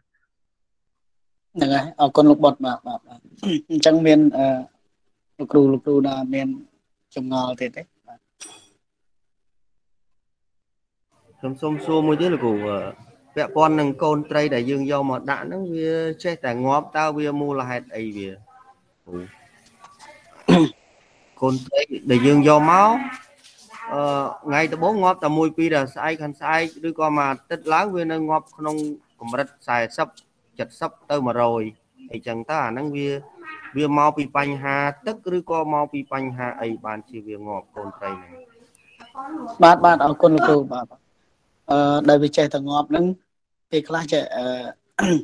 ពេលដែលយើងធ្វើការដឹកជញ្ជូនមកបាទតើមានដាច់រលាត់ទេបាទហើយមួយទៀតតើសភាពកូនត្រីអឺ របស់លោកគ្រូហ្នឹងមានសភាពរស់រវើកដែលលះលហួនដែរឬទេបាទហើយមួយទៀតពេលដែលលោកគ្រូដាក់ដាក់បលែងចូលទៅក្នុងអាងហ្នឹងតើលោកគ្រូបានអឺទ្រីតរបស់ខ្លួនត្រីហ្នឹងឬក៏សម្អាតខ្លួនត្រីហ្នឹងមុននឹងបលែងដែរឬទេបាទអានេះជាចំណុចដែលដែលសំខាន់ដែលដែលលោកគ្រូអឺត្រូវសម្គាល់ពេលដែលគ្រូយកត្រីមកដល់បាទឧទាហរណ៍ថាបើសិនជាលោកគ្រូ ដឹកត្រីនឹងឬក៏គេដឹកត្រីយកមកឲ្យយ៉ាងបាទតើលោកគ្រូបានយកអឺសម្ភារៈដែលដែលដឹកជញ្ជូននឹងឬនិយាយរួមទៅការវិចខ្ចប់កូនត្រីនឹងដូចវាដាក់ក្នុងកានអញ្ចឹងតើយើងបានទៅត្រាំត្រាំទឹកឲ្យវាស៊ាំនឹងសីតុណ្ហភាពក្នុងទឹកនឹងដែរឬទេឬក៏យើងអាចបើសិនជាអាចណាថាកូនត្រីយើងយើងដឹកទីចិត្តដែរយើងអាចមានពេលអឺ យកកូនត្រីហ្នឹងដាក់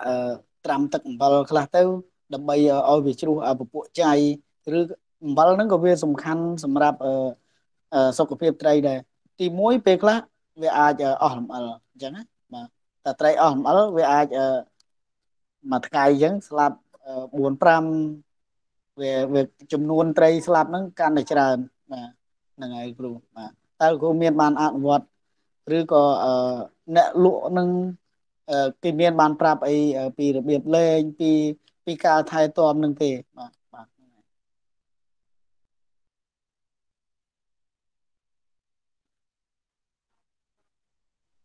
បាទលោកគ្រូអើយសួរមួយមើលលោកគ្រូ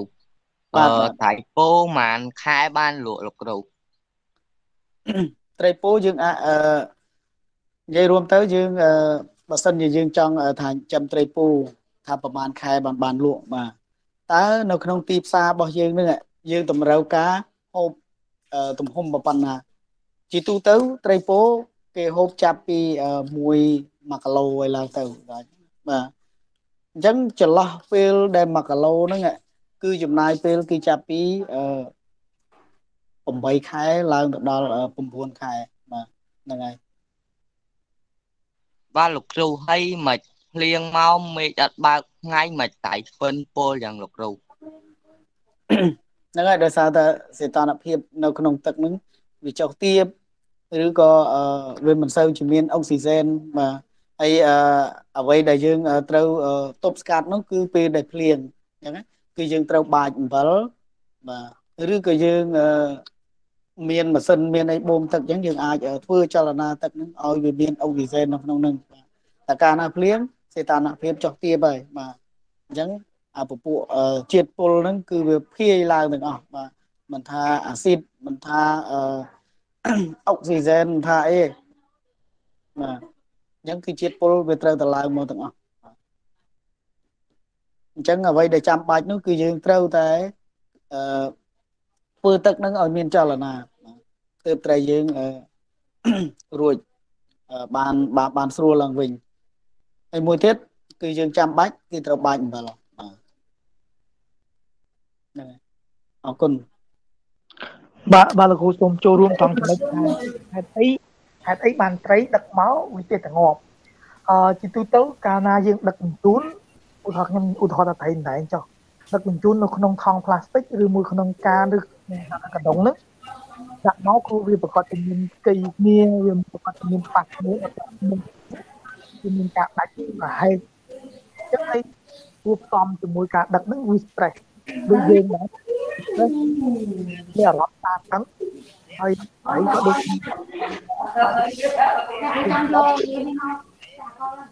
បន្សំទៀតខ្ញុំបានលើកមុននោះទៅជួយប្រចាំឲ្យវាទៅចិត្តមានហើយបញ្ញាខ្ញុំចាំសាំចូលទៅណាពុកមើលហើយគឺអញ្ចឹងហ្នឹងគឺឲ្យវាស្រដៀងនឹងគ្នាហើយហើយមួយវិញទៀតវាអាចដាច់រហ័សពេលដែលយើងចំស្រះឬមួយក៏រៀបចំអឺអាងចិញ្ចឹមហ្នឹងទឹករបស់យើងនឹងអាចវាមានពពុះអឺអឺបាក់តេរីអីចូលមកវាអាចវាលុកចូលទៅតាមប្រឡោះប្រហោហ្នឹងអាចធ្វើឲ្យត្រីយើងហ្នឹងឈឺឬក៏ងាប់ផងដែរហើយមួយវិញទៀត ទាក់ទងទៅនឹងការប្រើប្រាស់អំបិលលោកអំបត្តិគាត់បាននិយាយអំបិលហ្នឹងវាវាជួយបានច្រើនណាទីមួយគឺជួយឲ្យវាប្រៀបបានទៅនឹងប្រេងកាឡាដូចជាថ្នាំសាមញ្ញប្រចាំក្នុងផ្ទះណាគឺនៅពេលដែលយើងតាមតឹងយើងអាចហាត់ប្រេងកាឡាហើយត្រីក៏វាដូចគ្នាដែរដើម្បីធ្វើឲ្យការផ្លាស់ប្ដូរអ៊ីយ៉ុងនៅក្នុងខ្លួនរបស់ត្រីហ្នឹងឲ្យមានភាពល្អប្រសើរឡើងវិញលាងចកៃលាងអីវាឲ្យឲ្យឲ្យល្អឡើងវិញឲ្យវាដកដង្ហើមស្រួល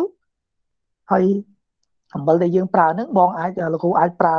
25មីលីក្រាមក្នុង1លីត្រទឹកដែលក្នុង1លីត្រទឹកដែលយើងចិញ្ចឹមហ្នឹងគឺនឹងធ្វើឲ្យកាត់បន្ថយការងាប់របស់វាហើយបាទហើយហើយពេលដល់ពេលនេះវាអាចផ្សះជួយផ្សះលបោតបោរបស់ត្រីហ្នឹងផងដែរបាទការពារកុំឲ្យវាងាប់ច្រើនបាទអរគុណច្រើន បាទលោកគ្រូខ្ញុំចង់សួរមួយទៀតពាក់ព័ន្ធនឹងរឿងកូនត្រីដែលយើងត្រូវយកមកដំបងបំផុតហ្នឹងតើយើងត្រូវធ្វើរបៀបយ៉ាងម៉េចដើម្បីកុំឲ្យវាងាប់បានឧមាយើងដឹកពីចម្ងាយមកពេលដែលយើងយកមកដល់យើងត្រូវដាក់អីខ្លះទៅធ្វើឲ្យមិនខ្លះដើម្បីឲ្យវាកាត់បន្ថយការងាប់នឹងហើយបើទោះបីតែខ្លួនវាលបកឬក៏ដាច់រលាត់អីជាមួយគ្នានៅក្នុងប៊ីដុងឬក៏នៅក្នុង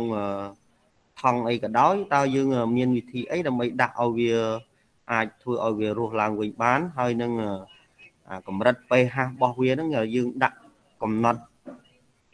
យកពីត្រឹមណាទៅដើម្បីឲ្យវារស់បានស្រួលហើយតើយើងអាចជំនួយអុកស៊ីសែនអីបានទេអាហ្នឹងគ្រូសូមជួយទៅនឹងតិចមក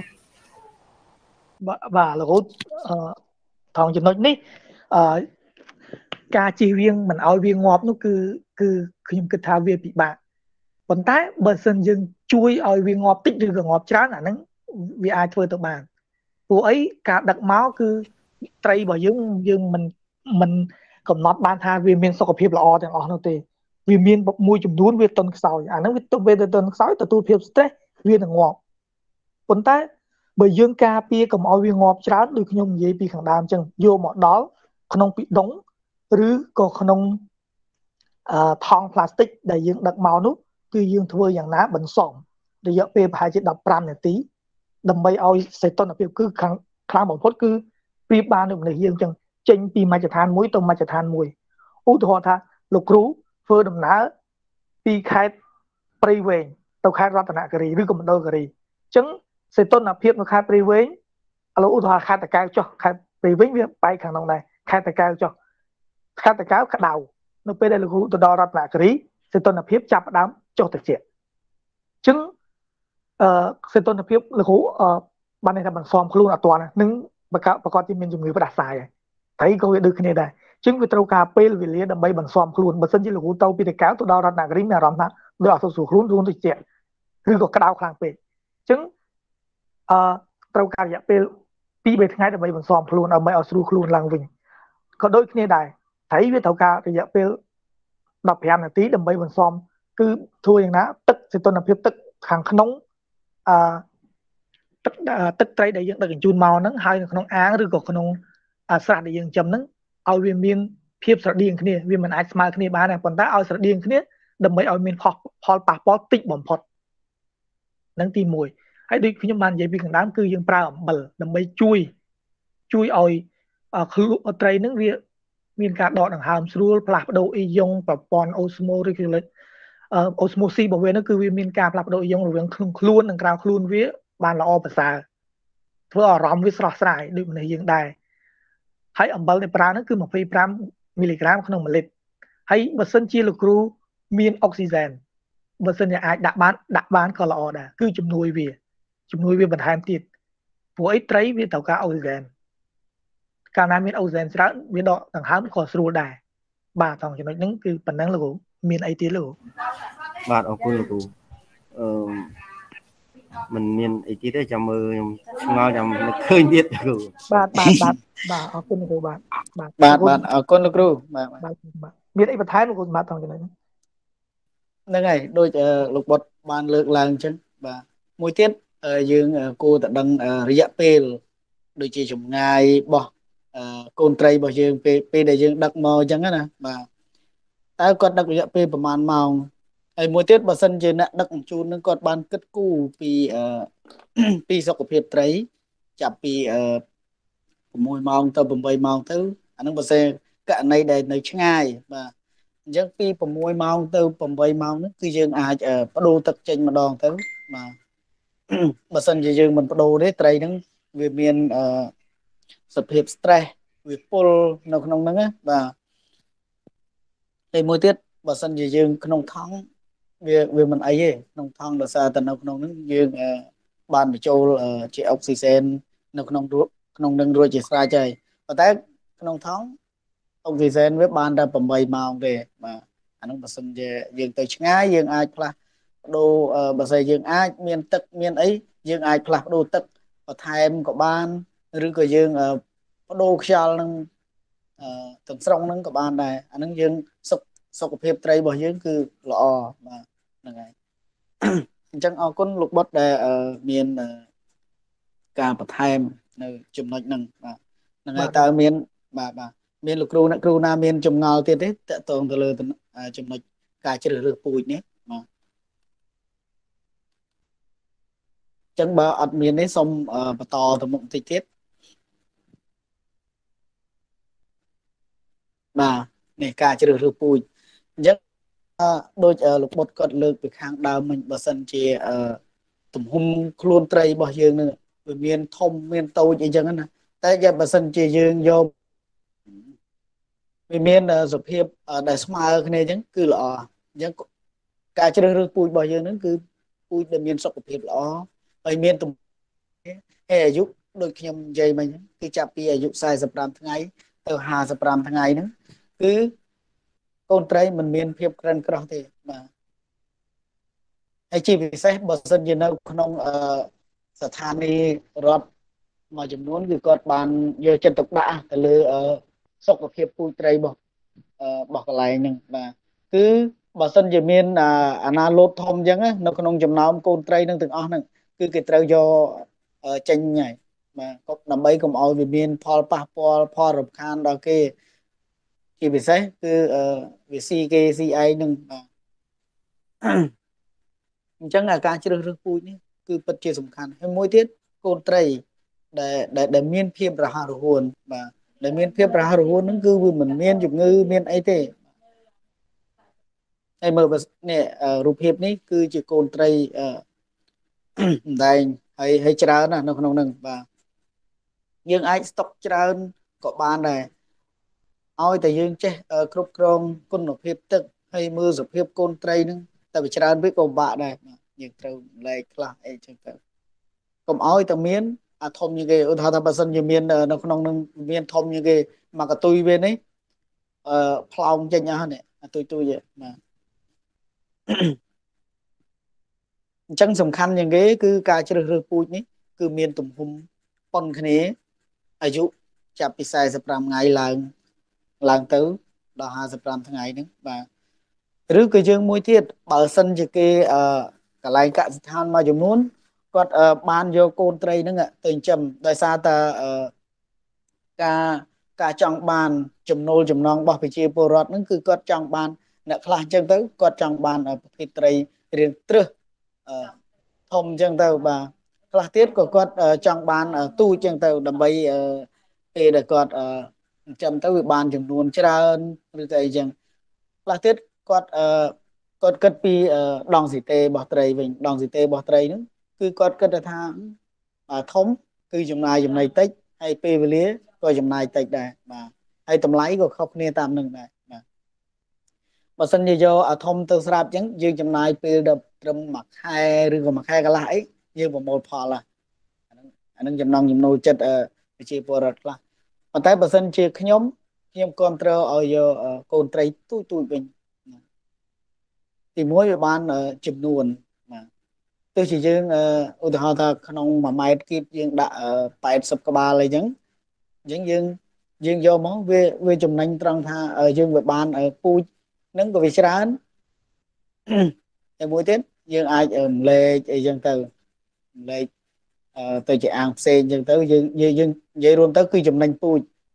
អាទូចនេះគឺបើសិនជាគេគិតពីថ្លឹងថ្លឹងវិញវាអាចវាបានចំនួនច្រើនជាងអាធំនេះបើអាធំនេះ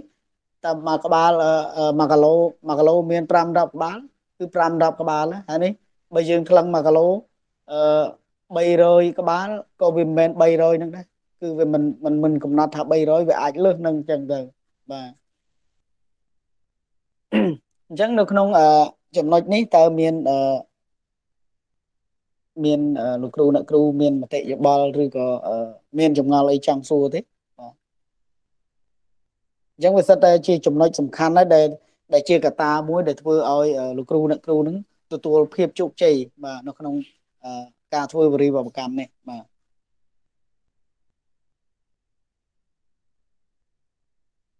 ចឹងមានលោកគ្រូអ្នកគ្រូណាមានចម្ងល់ទេ កន្លែងចំណុចហ្នឹង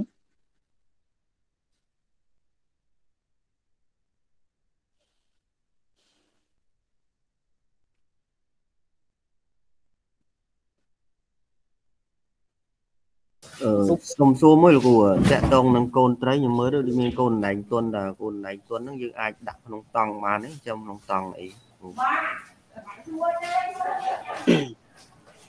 បាទអរគុណលោកគ្រូបាទ អឺតាក់តងនឹងកូនត្រីដែងទុននេះយើងអាចចាំនៅអាងផ្លាស្ទិកបានប៉ុន្តែគ្រាន់តែថាយើងរៀងលំបាកបន្តិចត្រង់ការគ្រប់គ្រងរបស់វាត្រីដែងទុនវាមិនសូវជាធន់ប្រហែលនេះដោយសារតែវាមានស្អីវាមានកកិតមានអីតាមខ្លួនវាបន្តិចតួចអីមានលបួសមានស្នាមអីបន្តិចតួចគឺវាត្រូវតែងាប់យ៉ាងមកបាទហើយមួយទៀតវាងាយនឹងអឺទទួល ផលប៉ះពាល់ពីជំងឺឆ្លងបាទបើសិនជាមានជំងឺឆ្លងហើយគឺគឺយើងពិបាកទប់ស្កាត់បន្តិចត្រែងដែងទុនបាទប៉ុន្តែខ្ញុំគ្រប់គ្រងនៅតែគ្រប់គ្រងត្រែងដែងទុនត្រង់ថាបើសិនជាយើងមានស្រះគឺល្អណាស់ចំនួនស្រះបើយើងចង់ចំនៅក្នុងអាងផ្លាស្ទិកបើយើងដាក់ក៏ដាក់នៅក្នុងចំនួនតិចដែរបាទ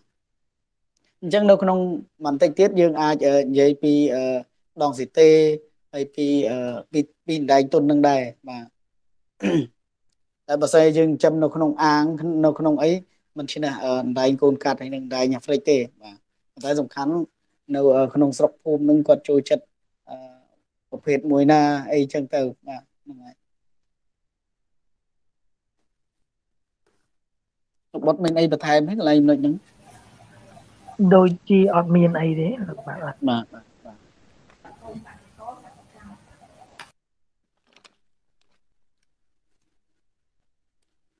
អញ្ចឹងសូមលោកគ្រូមកខាងព្រៃវែង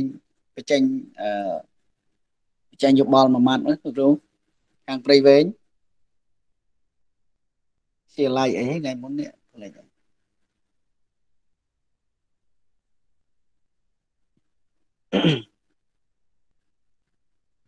ញ្ចឹងនៅចំណុចនេះបើសិនជាអឺมันមានចម្ងល់អីទេខ្ញុំសុំទៅមកចំណុចទៀតនេះ អត្ថប្រយោជន៍នៃការជ្រើសរើសពូជអញ្ចឹងដូចអឺលោកគ្រូវិរៈបុតគាត់អឺនិយាយតាំងពីអឺសប្តាហ៍មុនដែលនិយាយពីស្ថានភាពទូទៅនោះអញ្ចឹងការជ្រើសរើសពូជនេះវាពិតជាមានសារៈសំខាន់មែនបាទត្រង់ថាទី1វាកាត់បន្ថយជំងឺឆ្លងហើយទី2នោះគឺអត្រារស់របស់ត្រីនឹងគឺមានខ្ពស់ ឧទាហរណ៍ថាយើងយើងចិញ្ចឹមត្រីហ្នឹងយើងដាក់ក្នុងមួយអាងរបស់យើងហ្នឹងយើងដាក់2000ក្បាលអញ្ចឹងអត្រារស់របស់វាហ្នឹងគឺវាអាច80%ឡើងទៅអាស្រ័យទៅលើការគ្រប់គ្រងរបស់យើងហើយមួយទៀតมันប៉ះពាល់សុខភាពมันប៉ះពាល់សុខភាពនេះឧទាហរណ៍តែត្រីរបស់យើងយកមកមានអឺមានអាខ្លះធំតូចអីចឹងទៅអញ្ចឹងអាធំនឹងស៊ីអាតូច ហើយឬក៏នៅក្នុងអឺហ្វូងរបស់ត្រីហ្នឹងខ្លះមានជំងឺមានអីចឹងបាទអញ្ចឹងវាធ្វើឲ្យប៉ះពាល់ដល់ត្រីឯទៀតហ្នឹងហើយបាទអញ្ចឹងនៅក្នុងចំណុចនេះវាពិតជាសំខាន់តើលោកគ្រូអ្នកគ្រូនឹងមានមានចំណាប់អារម្មណ៍ឬក៏មានចម្ងល់អីទេ ទៅលើការជ្រើសរើសពូជនឹងតើជ្រើសរើសពូជមិនឲ្យវាសមស្រប ហើយយើងធ្វើមិនកុំឲ្យវាមានជំងឺក្រេះក្រិននឹងកើតឡើងបាទហើយយើងជ្រើសរើសពូជមិនកុំឲ្យវាមានផលប៉ះពាល់ខ្ញុំប្រហើបខ្ញុំចង់ឲ្យលោកគ្រូមានចម្ងល់សួរមកខ្ញុំបាទពេលខ្លះយើងយើងនិយាយទៅយើងអត់ដឹងថាលោកគ្រូឆ្ងល់ដែរតែមិនដឹងថាសួរកន្លែងណានេះខ្ញុំប្រហើបឲ្យសួរតែម្ដង បាទខ្ញុំសូមសួរទៀតដែរពាក់ព័ន្ធនឹងរឿងក្រេះហ្នឹងតើយើងមានវិធីសាស្ត្រអីដើម្បីកាត់បន្ថយអាកូនត្រីកុំឲ្យវាក្រេះនឹងច្រើនពេកឧទាហរណ៍អញ្ចឹងហើយមួយទៀតនៅពេលដែលវាវាស៊ីចំណីអត់ទាន់ឬមួយក៏វាមកពីខ្លួនវាក្រេះនឹងតែម្ដងគូបាទបាទអរគុណចំណីកូនត្រីចំណីកូនត្រីដែលយើងត្រូវប្រើប្រាស់ហ្នឹងយើងត្រូវ ប្រើអាក្នុងកម្រិតណាមួយដើម្បីឲ្យវាវាវាវាធំស្មើគ្នាលោកគ្រូហ្នឹងហើយលោកគ្រូបាទបាទអរគុណតកតងនឹងសំណួរលោកគ្រូល្អបាទអញ្ចឹងតកតងនឹងភាពក្រិនក្រេះនេះគឺទី1ដូចយើងចាប់ដើមនិយាយពីដំបូងមិញបន្ទាប់ចំណុចចំណុចមុននឹងបន្តិចគឺយើងនិយាយពីការជ្រើសរើសពូជបាទអញ្ចឹងតើពូជនឹងដែលដែលដែលលោកគ្រូយកមកចិញ្ចឹមនឹង ពូជនឹងមានអាយុប្រហែលថ្ងៃអាហ្នឹងក៏ជាកត្តាសំខាន់សម្រាប់លោកគ្រូស្រាវជ្រាវបន្ទាប់មកទៀតភាពក្រិនក្រេះនឹងដែរអញ្ចឹងតើពេលដែលដែលលោកគ្រូយកមកចិញ្ចឹមនឹងតើលោកគ្រូផ្ដល់ចំណីនឹងរបៀបម៉េចបាទអញ្ចឹងឧទាហរណ៍ថាទៅទៅលើការផ្ដល់ចំណីតើលោកគ្រូផ្ដល់ចំណីនឹងនៅក្នុងកំឡុងពេលកូនពូជហ្នឹងលោកគ្រូផ្ដល់ចំណីឲ្យប្រមាណដងហើយហើយចំនួនអឺ ភាគរយនៃប្រូតេអ៊ីននោះគឺប្រមាណអញ្ចឹងណាបាទអញ្ចឹងនៅក្នុងកូនពូជនេះវាប្រៀបដូចកូនក្មេងទីរក់ដែលទើបកើតគាត់អឺហូបមិនសូវច្រើនទេប៉ុន្តែគាត់ច្រើនដងគាត់ញាប់អញ្ចឹងណាបាទហើយអាហារូបត្ថម្ភរបស់គាត់ក៏ត្រូវការខ្ពស់ដែរមិនខុសអីពីត្រីទេត្រីតកាលណានៅក្នុងកំឡុងកូនពូជគឺត្រូវការប្រូតេអ៊ីនខ្ពស់បាទសារជាតិសាច់លីពីត បាទនៅមានសារជាតិផ្សេងផ្សេងទៀតដែលច្រើនបាទហើយនៅក្នុងចំណុច slide ខាងមុខគឺយើងនៅតែជម្រាបប្រាប់អញ្ចឹងអឺភាពក្រិនក្រេះហ្នឹងគឺជាបើសិនជានៅនៅនៅនឹងដៃយើងផ្ទាល់ដែលយើងដាក់ថែទាំរងថ្ងៃគឺផ្ដោតសំខាន់ទៅលើការផ្ដល់ចំណីការជ្រើសរើសប្រភេទចំណីឲ្យផ្ដល់ឲ្យត្រីមិនថាដូចថាយើងចាំទៅឲ្យស៊ីអង្កាមឬក៏កតក់សុតនឹង វាស៊ីស៊ីហើយវាក្លៀនស៊ីប៉ុន្តែវាមិនមានជាតិសាច់អីច្រើន សម្រាប់ទៅផ្គត់ផ្គង់រាងកាយរបស់ត្រីទេបាទហើយមួយទៀតបើសិនជាវាការផ្ដល់ចំណីរបស់យើងបើសិនក្នុងត្រីរបស់យើងនឹងមានអាណាធំជាងគេមានអីហ្នឹងគឺវាស៊ីអត់តាន់គេទេអញ្ចឹងអញ្ចឹងភាគរយនៃផ្ដល់នៃការផ្ដល់ចំណីរបស់យើងគឺអត់គ្រប់អត់គ្រប់ត្រីនឹងទេបាទបានន័យថាត្រីនឹងវាស៊ីអត់គ្រប់គ្នាណាបាទ ព្រោះអាធំវាស៊ីអស់ទៅឬក៏អាធំនឹងវាវាមានផលប៉ះពាល់រំខានដល់គេបោកកតុយបោកអីចឹងទៅបាទនិយាយរួមទៅវាប្រជែងឈ្នះគេបាទហើយចំណុចដែលយើងផ្ដល់ប្រូតេអ៊ីនឲ្យវាហ្នឹងនៅក្នុងកំឡុងកូនពូជហ្នឹងគឺយើងត្រូវផ្ដល់អាហារូបត្ថម្ភឲ្យវានឹងខ្ពស់ហ្នឹងហើយបាទអញ្ចឹងមានអីទៀតទេគ្រូ អញ្ចឹងវាទៀមទាចំណុចហ្នឹងគឺទៀមទាឲ្យមានប្រូតេអ៊ីនខ្ពស់ហើយការផ្ដល់ចំណីហ្នឹងបានច្រើនដងយើងអាចពី3ដងទៅ4ដងអីទៅបាទហ្នឹងហើយអរគុណលោកគ្រូសម្រាប់សំណួរបាទហើយមានលោកគ្រូផ្សេងអីឆ្ងល់ទេណាបាទបាទអរគុណលោកគ្រូហើយលោកបុតមានអីបន្ថែមទេនៅក្នុងចំណុចហ្នឹងបុតបាទអឺ ខាងចំណុចហ្នឹងខ្ញុំគ្រាន់តែសរុបឡើងវិញចំពោះអ្វីដែលលោកសម្បត្តិគាត់បាននិយាយហ្នឹងគឺសុទ្ធតែជាចំណុចដែលដែលមានហានិភ័យចំពោះអាដែលធ្វើឲ្យកូនត្រីហ្នឹងវាក្រិនហើយទីមួយគឺពូជតែម្ដងពូជវាអាចអឺប្រកាសមកពូជវាខ្ញុំតែម្ដងបងគ្រូអាហ្នឹងវាគឺវាឲ្យវាក្រិនដែរហើយមួយអាហារូបត្ថម្ភវាអត់គ្រប់គ្រាន់ដោយលោកគ្រូសម្បត្តិបាននិយាយហើយនៅក្នុងដំណាក់កាលដំបូងរបស់កូនត្រីនេះគឺវាត្រូវការអាប្រូតេអ៊ីនខ្ពស់ ហើយបើសិនជាយើងឲ្យអាហារវាឲ្យចំណីវាអត់គ្រប់គ្រាន់ប្រូតេអ៊ីនអត់ដល់ក៏វាអាចធ្វើឲ្យវាក្រិនដែរអញ្ចឹងទី1គឺពូជទី2គឺចំណីអឺចំណីដែលឲ្យយើងឲ្យវាស៊ីហ្នឹងហើយការថែទាំរបស់យើងអត់ល្អពីការឲ្យចំណីហ្នឹងគឺប្រកបជាធ្វើធ្វើឲ្យវាស្ទះហើយបាទអរគុណបាទ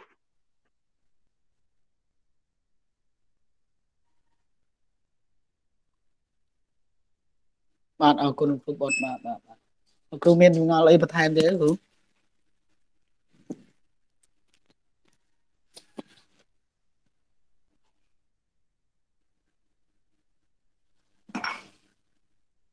បាទបើមិនមានចម្ងល់អីទេសូមទៅមុខបន្តិចទៀត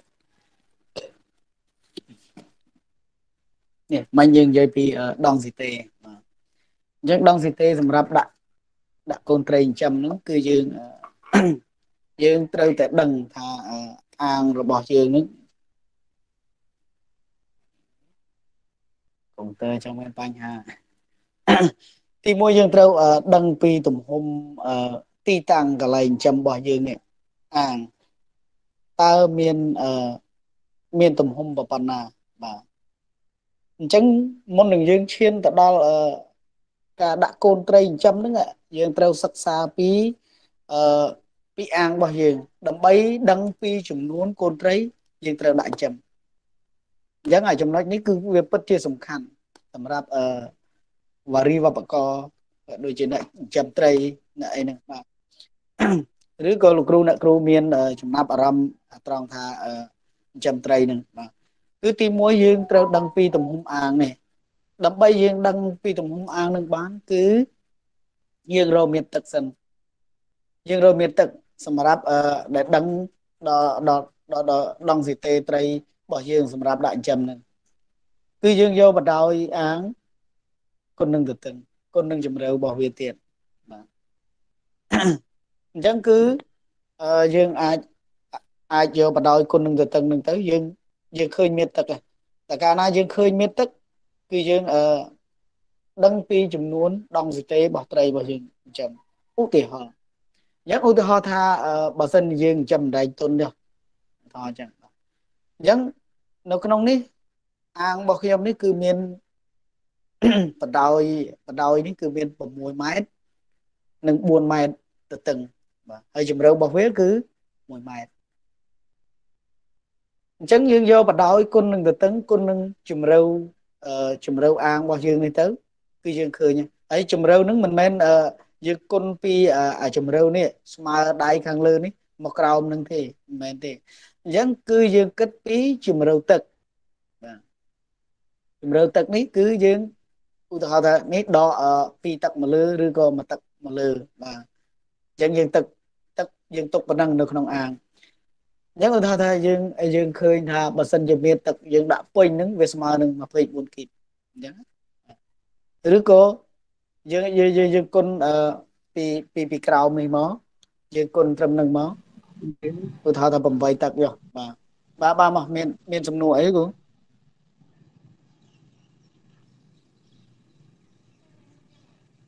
បាទបើអត់មានអីទេខ្ញុំខ្ញុំខ្ញុំបញ្យល់នេះបន្ត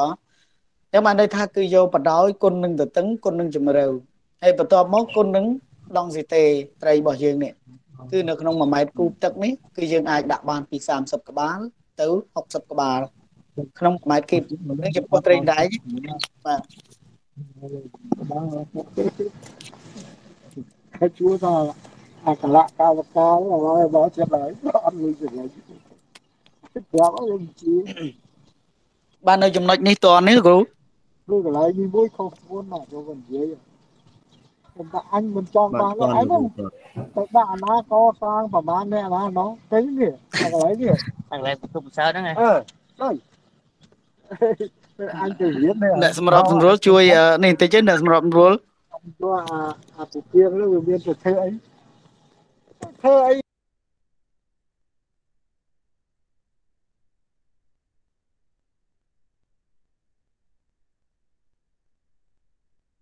បាទតើលោកគ្រូអ្នកគ្រូអឺតើនេះឬក៏បងប្អូននៅចំណុចហ្នឹង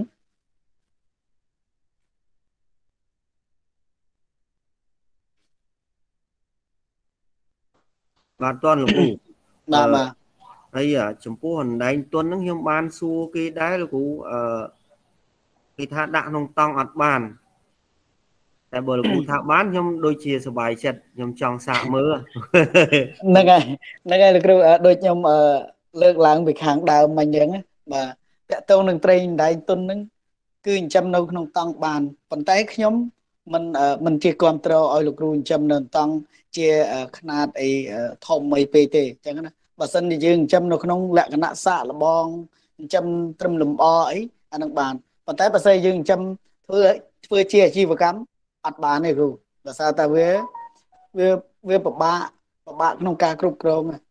យហើយមនុស្សម្នាក់ម្នាក់យើងមិនមិនមែនទៅរវល់មើលតែការងារនឹងមួយមុខទេអញ្ចឹងណាគ្រូមានធ្វើការងារនេះការងារនោះបាទហើយបើយើងអង្គុយចាំមើលទៅត្រីប៉ុណ្ណឹងងាប់បើតែបើសិនជាមានស្រះខ្ញុំគ្រប់គ្រងឲ្យចិញ្ចឹមបាទអានឹងបើមានស្រះណាគ្រូតែដែកទុនបាទហើយហើយមួយទៀតបើសិនជាយើងចង់ចិញ្ចឹមនៅក្នុងអាងផ្លាស្ទិកនេះ គឺយើងត្រូវបន្ទាបបន្ទាប បន្ទាបអ្វីបន្ទាបដងស៊ីតេនេះបាទហើយនៅក្នុងដងស៊ីតេនេះគឺគឺគឺគឺនិយាយលក្ខណៈមួយឲ្យសមស្របថាគាត់ដែលដែលជាអាជីពអ្នកដែលដែលធ្វើការនៅអាហ្នឹងហ្មងចិញ្ចឹមត្រីហ្នឹងហ្មងបាទអញ្ចឹងគាត់អាចដាក់កម្រិតនៅកម្រិតដងស៊ីតេហ្នឹងប៉ុណ្ណឹងបានហើយបើសិនយើងយើងមិនធ្លាប់ចិញ្ចឹមធ្លាប់អីយើងអាចដាក់ទៀបជាងនឹងមកមកក្រោមបាទ យើងអាចដាក់ពី25អីចឹងទៅឬក៏ដល់30អញ្ចឹងទៅបាទនៅក្នុងម៉ែត្រគីបទឹកហ្នឹងគ្រូបាទបាទបាទបាទដោយសារត្រីដែងទុនវាអឺវាមានភាពលះរហូតមួយបើសិនជាវាសុខភាពល្អគឺវាបើសិនជាវាខ្វះខ្វះខ្វះខ្វះប្រូតេអ៊ីនគឺថាថាចំណីចំណីរបស់យើងនឹងមិនមានអាហារូបត្ថម្ភគ្រប់គ្រាន់អញ្ចឹងគឺវាទៅកកេគ្នា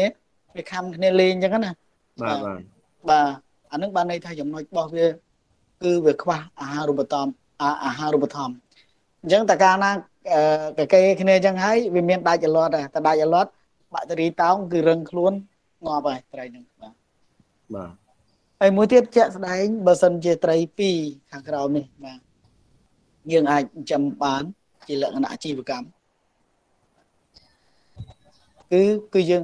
មិនមានស្រះមិនមានទីតាំងអីឬក៏មិនមានបែរនៅក្នុងទន្លេអី យើងអាចចិញ្ចឹមនៅអាងនេះបានគឺយើងអាចដាក់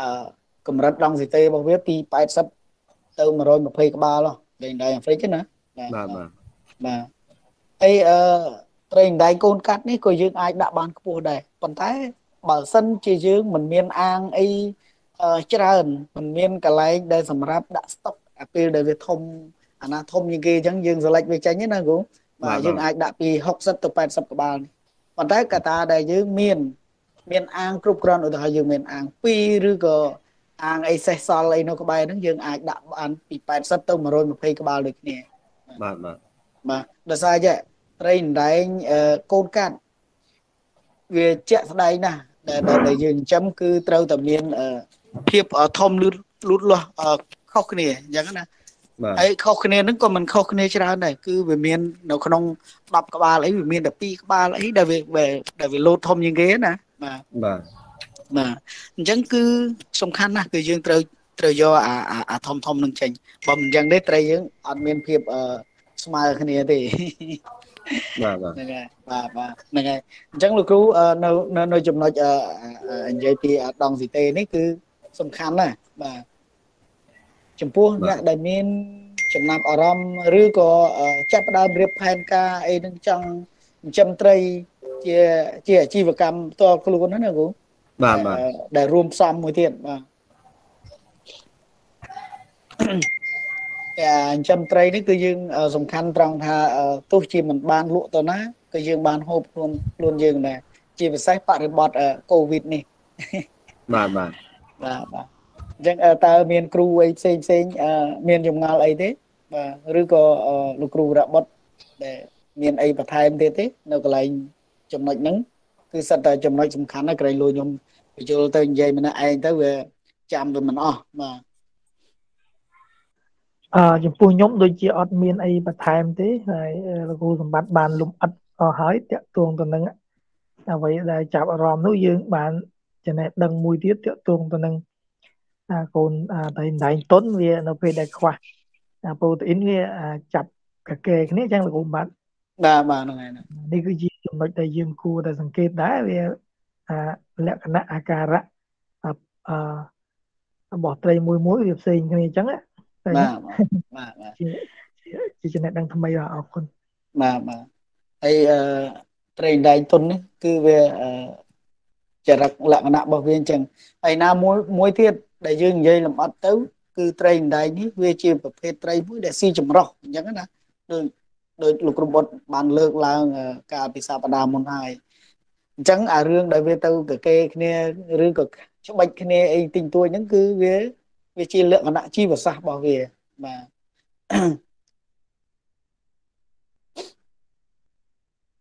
បាទតើមានលោកគ្រូផ្សេងមានចម្ងល់អីទេឬក៏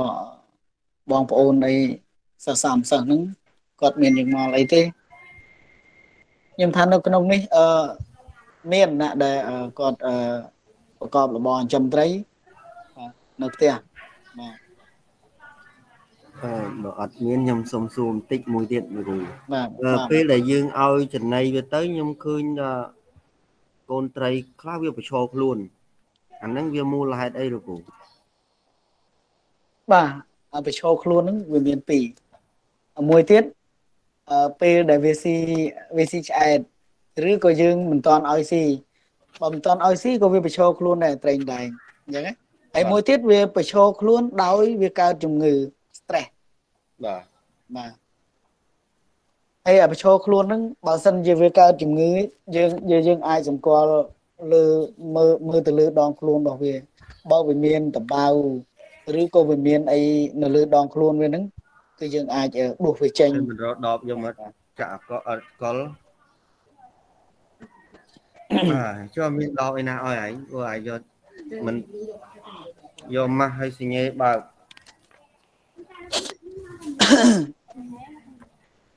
យកទៅចែកគ្នាអត់មានយកទៅផ្ទះខ្លួនឯងទេណាម៉ាស់យកម៉ាស់ទៅមួយហើយ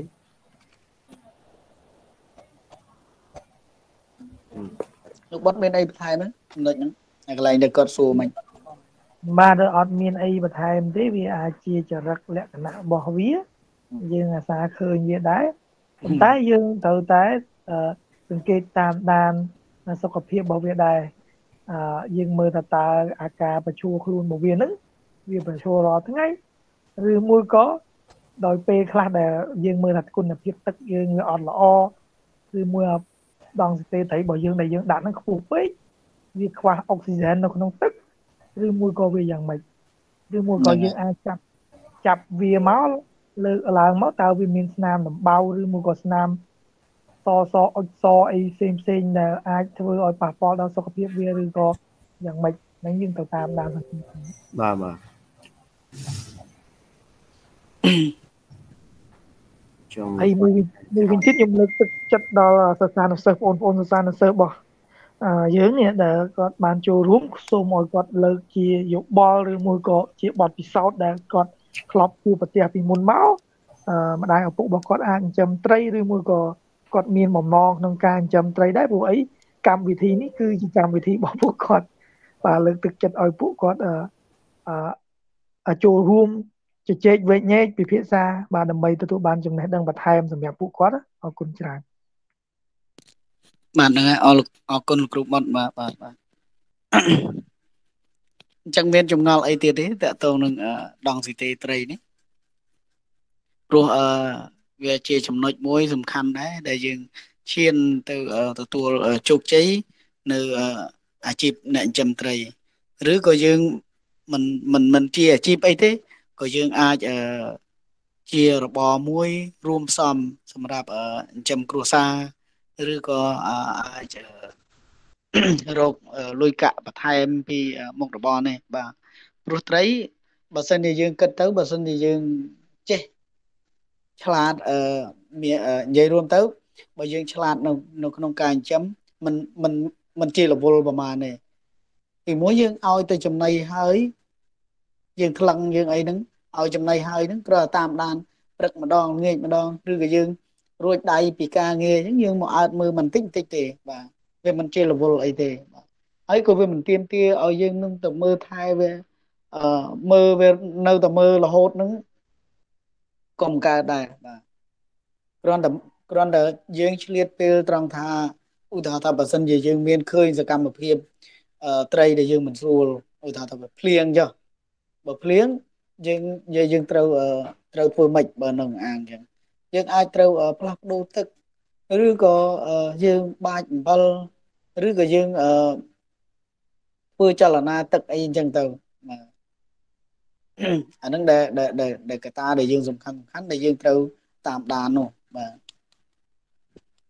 អញ្ចឹងភាកច្រើនអឺកសិករដែលគាត់ចិញ្ចឹមគាត់សម្គាល់ ទៅលើស្រះរបស់គាត់ទេគាត់មិនបានទៅគិតពីដងស៊ីតេត្រីដូចយើងអ្នកបច្ចេកទេសអញ្ចឹងអញ្ចឹងត្រីដែលវាអាចធំធាត់ស្មើគ្នា យើងអាចប្រមូលផលតាន់ពេលវេលាហ្នឹងគឺតកតងនឹងដងស៊ីតេនឹងឯងបាទហើយមួយទៀតវាកាត់បន្ថយទៅលើការចំណាយចំណីចំណាយទៅលើចំណីបាទបើសិនជាយើងនៅចិញ្ចឹមនៅក្នុងអឺអាងផ្លាស្ទិកគឺ ជាក់ស្ដែងគឺសំខាន់បំផុតគឺយើងត្រូវប្រើចំណីរោងចក្រហើយអញ្ចឹងឬក៏យើងមានចំណីរួមផ្សំអីផ្សេងទៀតក៏បានដែរប៉ុន្តែគឺវាត្រូវខូចគុណភាពទឹកហ្នឹងហើយបាទអញ្ចឹងបើសិនជាដងស៊ីតេនេះបើយើងដាក់ឧទាហរណ៍ថាបើសិនជាយើងតម្រូវឲ្យដាក់តែ120ក្បាលក្នុង1ម៉ែត្រគីបឧទាហរណ៍អញ្ចឹងអញ្ចឹងគាត់ដាក់ដល់ទៅ400អីអាហ្នឹងក៏វាពិបាកដែរប៉ុន្តែលក្ខណៈពិសេសដែលយើងអាចដាក់ ចិញ្ចឹមបានច្រើនអញ្ចឹងគឺមានតែប្រព័ន្ធ biofloc ទេបាទប៉ុន្តែអានេះយើងយើងនិយាយលក្ខណៈសាមញ្ញដែលมันមាន biofloc มันមានអីទេគឺយើងអាចនិយាយថាតែត្រឹមចិញ្ចឹមជាលក្ខណៈគ្រួសារប៉ុន្តែលក្ខណៈគ្រួសារហ្នឹងយើងអាចធ្វើអាជីវកម្មបានដោយសារតែទទួលផលបានខ្ពស់ដែរបាទឲ្យតែយើងចិញ្ចឹមតាមលក្ខណៈបច្ចេកទេសសមស្របអញ្ចឹង វាមិនខូចទឹកវាកាត់បន្ថយការចំណាយទឹក ការចំណាយចំណីអញ្ចឹងណាបាទហ្នឹងហើយអញ្ចឹងបើមិនមានអ្វីទេខ្ញុំសូមបន្តទៅមួយចំណុចទៀតសូមសូមសួរបន្តិចលោកគ្រូពាក់ព័ន្ធនឹងការដាក់អំបិលអាហ្នឹងយើងដាក់ក្នុងមួយម៉ែត្រគីបយើងដាក់ប្រមាណដែរលោកគ្រូអំបិលបាទមិញអឺលោកគ្រូវរៈបុតគាត់បានដាក់អំបិលហ្នឹងគឺលោកគ្រូអាចដាក់25មីលីក្រាម 20ទៅ25មីលីក្រាមក្នុង1លីត្រទឹកលោកគ្រូ25មីលីក្រាម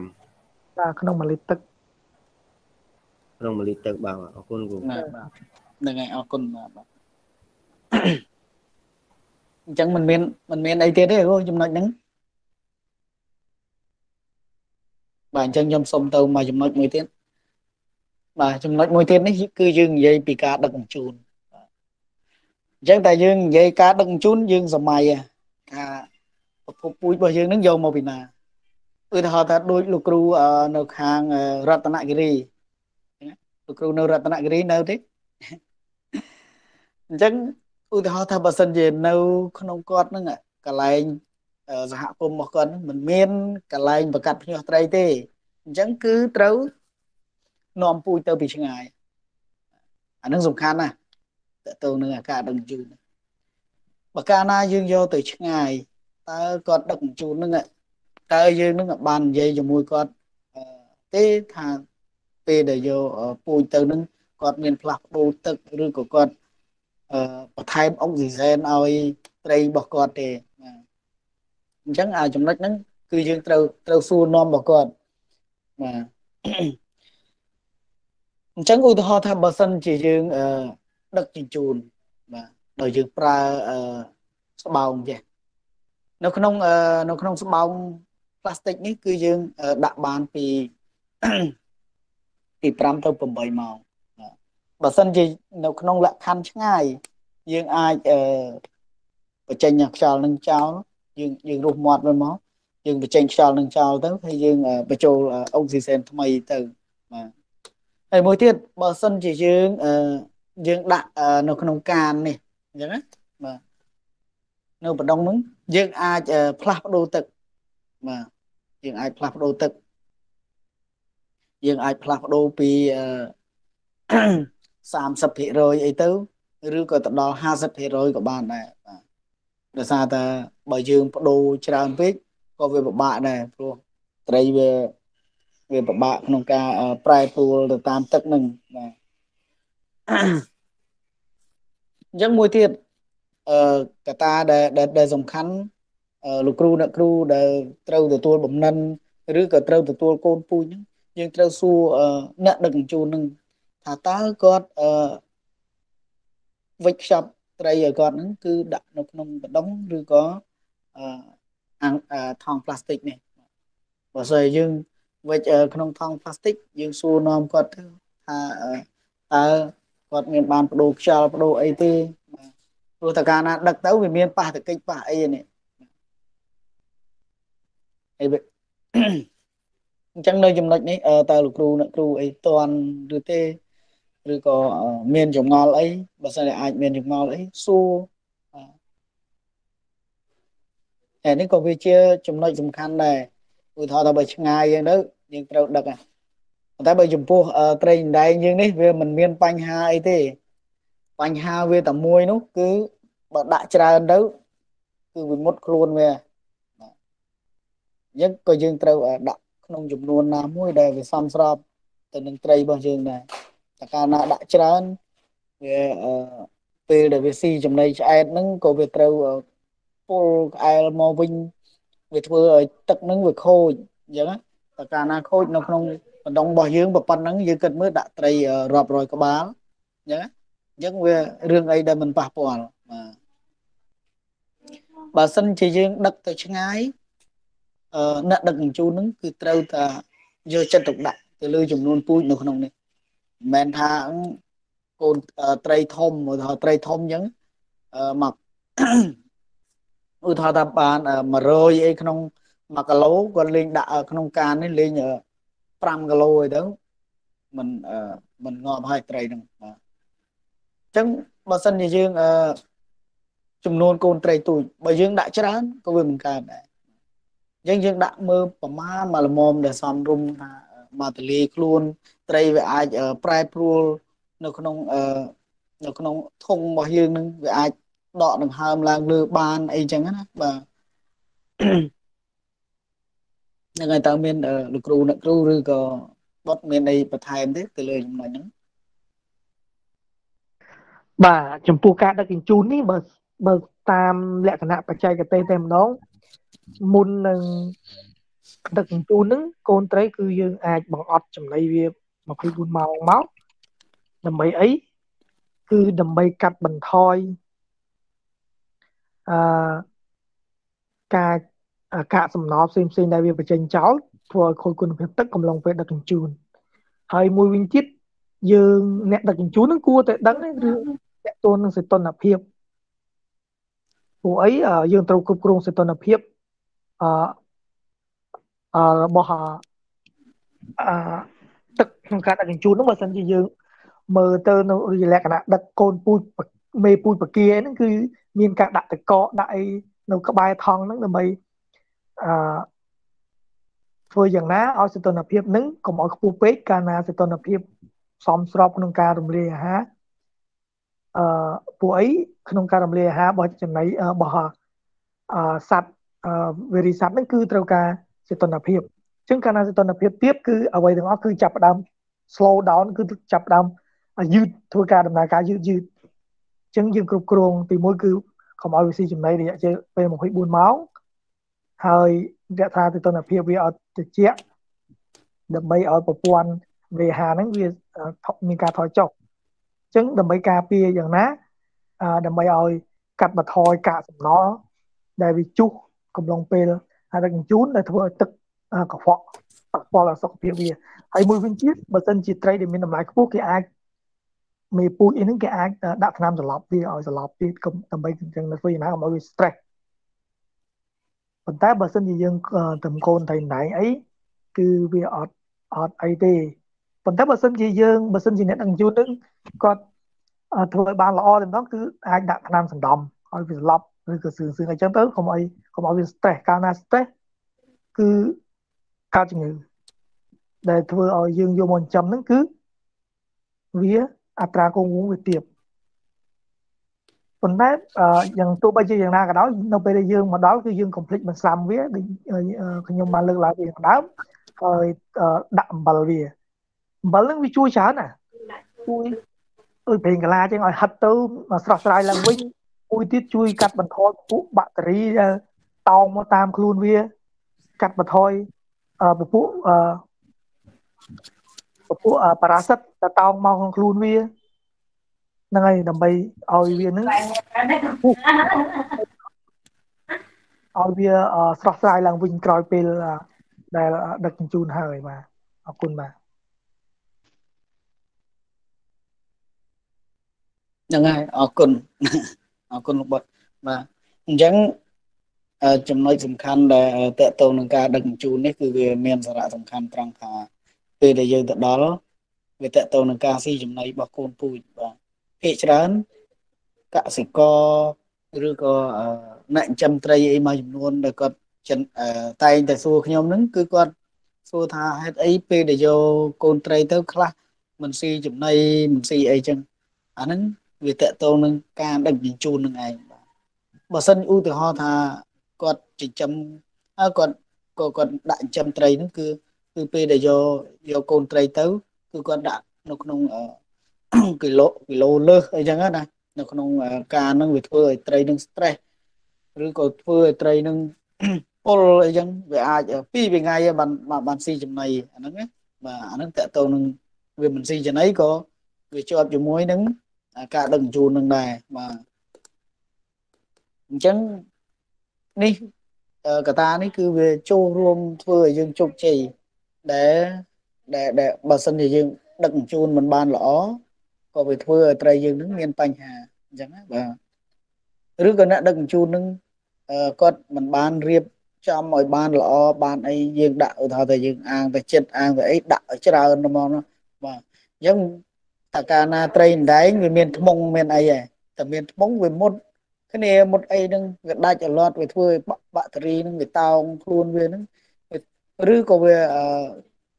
ដាក់ចំនួនត្រីច្រើនពេកហ្នឹងវាធ្វើឲ្យវាបាត់បង់លំអើរបស់វា ហើយត្រីដែលវារស់បាន គឺដោយសារលំអើត្រីអត់សកាបាទហ្នឹងហើយបាទអញ្ចឹងតើមាននៅក្នុងចំណុចនេះតើមានគ្រូណាមានចម្ងល់អីទេបើមិនមានទេសូមទៅមួយចំណុចទៀតបាទបាទខ្ញុំស្ដាប់លោកគ្រូវរៈបុតគាត់និយាយទៅនឹងខ្ញុំចាប់អារម្មណ៍កាលដែលខ្ញុំមើល YouTube របស់យួនវាវានេះអន្ទង់លោកគ្រូ បាទបាទឃើញគេយកកូនអន្ទង់មកខ្ញុំឃើញគេដាក់ចាក់អីសសក្នុងស្បោងសសចូលក្នុងកដងគេក្នុងចានដៃគេកោទឹកហើយបានគេសម្រិតអាដែលអន្ទង់នឹងអាទឹកដែលគេដឹកក្នុងកដងចេញអស់ស្រាប់គេដាក់ចូលក្នុងអាអាយកអាទឹកចានដៃដែលគេក្លុកសសហ្នឹងខ្ញុំមើលមិនដឹងថាអំបិលអីគេចាក់ចូលក្នុងកដងប្រហែលជា15នាទីបានគេសម្រិតទឹកចេញហើយបានគេយកទៅលេងអញ្ចឹងលោកគ្រូនិយាយហ្នឹងខ្ញុំចាប់អារម្មណ៍ប្រហែលថាដាក់អំបិលមែនណាទៅយ៉ាង សម្រាប់មេរោគមេអីហ្នឹងទៅហ្នឹងហើយបាទបាទបាទលោកគ្រូចង់ចំណុចហ្នឹងបាទអំបិលគឺជួយបានច្រើនដូចយើងបាននិយាយហេតុអីចាំបាច់និយាយឡើងនិយាយឡើងអំបិលព្រោះអីនៅក្នុងការត្រីនៅក្នុងការមុខរបរចំត្រីគឺអំបិលវាជាជាសារធាតុមួយដែលសារធាតុគីមីមួយយើងអាចនិយាយថាអំបិលគឺជាសារធាតុគីមីមួយដែលមានតម្លៃថោកហើយមានគុណប្រយោជន៍គុណប្រយោជន៍ដូចខ្ញុំនិយាយចឹងវាបានទៅនឹងប្រេងកាឡាដែលប្រចាំផ្ទះយើងអញ្ចឹង នៅពេលដែលយើងឈឺក្បាលពេលដែលយើងវិលមុខហ្នឹងចំពោះត្រីដូចគ្នាដែរបាទបាទអឺអាហ្នឹងយើងដាក់មកប្រៃឡំឡំឬក៏វាមានកម្រិតរបស់វាដែរលោកគ្រូដូចដូចខ្ញុំបានប្រាប់ចឹងបងពេលខ្លះបងដើមចឹងចឹងបងអាចដាក់ក្នុងថង់កំឡុងពេលដឹកជញ្ជូនក៏បានប៉ុន្តែបងអាចយកមកនៅពេលដែលរៀបចំដាក់កូនត្រីចូលទៅក្នុងអាងចិញ្ចឹមយើងអាចបាចក្រោយពេលហ្នឹងក៏បានដែរបានដូចគ្នា តែហើយជួយប្រាប់ណាស់ហើយយើងបើកបោះឲ្យអត់មួយណាគ្រូអើបើយើងធ្វើការនៅនោះហើយកម្រិតដែលខ្ញុំប្រាប់ហ្នឹងគឺ20 20ទៅ25មីលីក្រាមក្នុង1លីត្របងបងអាចដាក់ប៉ុណ្ណឹងបងហ្នឹងហើយអរគុណបាទបាទអញ្ចឹងយើងសូមចូលមកចំណុចទៀតបាទនេះដែលយើងនិយាយពីបន្ទាប់ពីការដឹកជញ្ជូនមិញហ្នឹងគឺយើងឈានដល់ការបលែងកូនត្រី អញ្ចឹងមិនថានៅក្នុងស្រះមិនថានៅក្នុងអាងមិនថានៅក្នុងបែគឺយើងទៀមទាត្រូវតែយកអឺកញ្ចប់ត្រីហ្នឹងឬក៏កានហ្នឹងគឺយកទៅក្នុងត្រាំនៅក្នុងទឹករយៈពេល15នាទី10ទៅ15នាទីបាទអញ្ចឹងនេះឧទាហរណ៍ថាយើងនៅក្នុងស្រះគឺយើងត្រូវអនុវត្ត តាមបែបហ្នឹងដែរយើងទម្លាក់វាចូលចឹងទៅយើងត្រាំពី10ទៅ15នាទីគឺយើងនៅនៅនៅក្នុងនេះដូចបែនេះមួយអានេះគេហៅបែសំបីតាកានហ្នឹងក៏យើងដាក់ត្រាំទឹកដែរឬក៏យើងមិនមែនមិនយើងដាក់ក្នុងកានចឹងហើយយើងបិទបិទគ្របឲ្យចិត្តអត់ទេតែដាក់បិទគ្របឲ្យចិត្តអត់មានខ្យល់ទេព្រោះតែកាលណាអញ្ចឹងវាអត់មានអុកស៊ីសែនចូលទេហើយយើងបើសិនជាវាចេញ វាចេញមួយមួយវាតាមសភាពខ្លួនវាអត់អីទេឲ្យវាចេញចុះល្អបាទប៉ុន្តែបើសិនយើងត្រាំហើយ4ទៅ15ពី10ទៅ15នាទីហ្នឹងហើយគឺយើងអាចចាក់ចេញបានបាទហើយនេះនៅក្នុងអាងផ្លាស្ទិករបស់យើងក៏យើងត្រូវអនុវត្តអឺ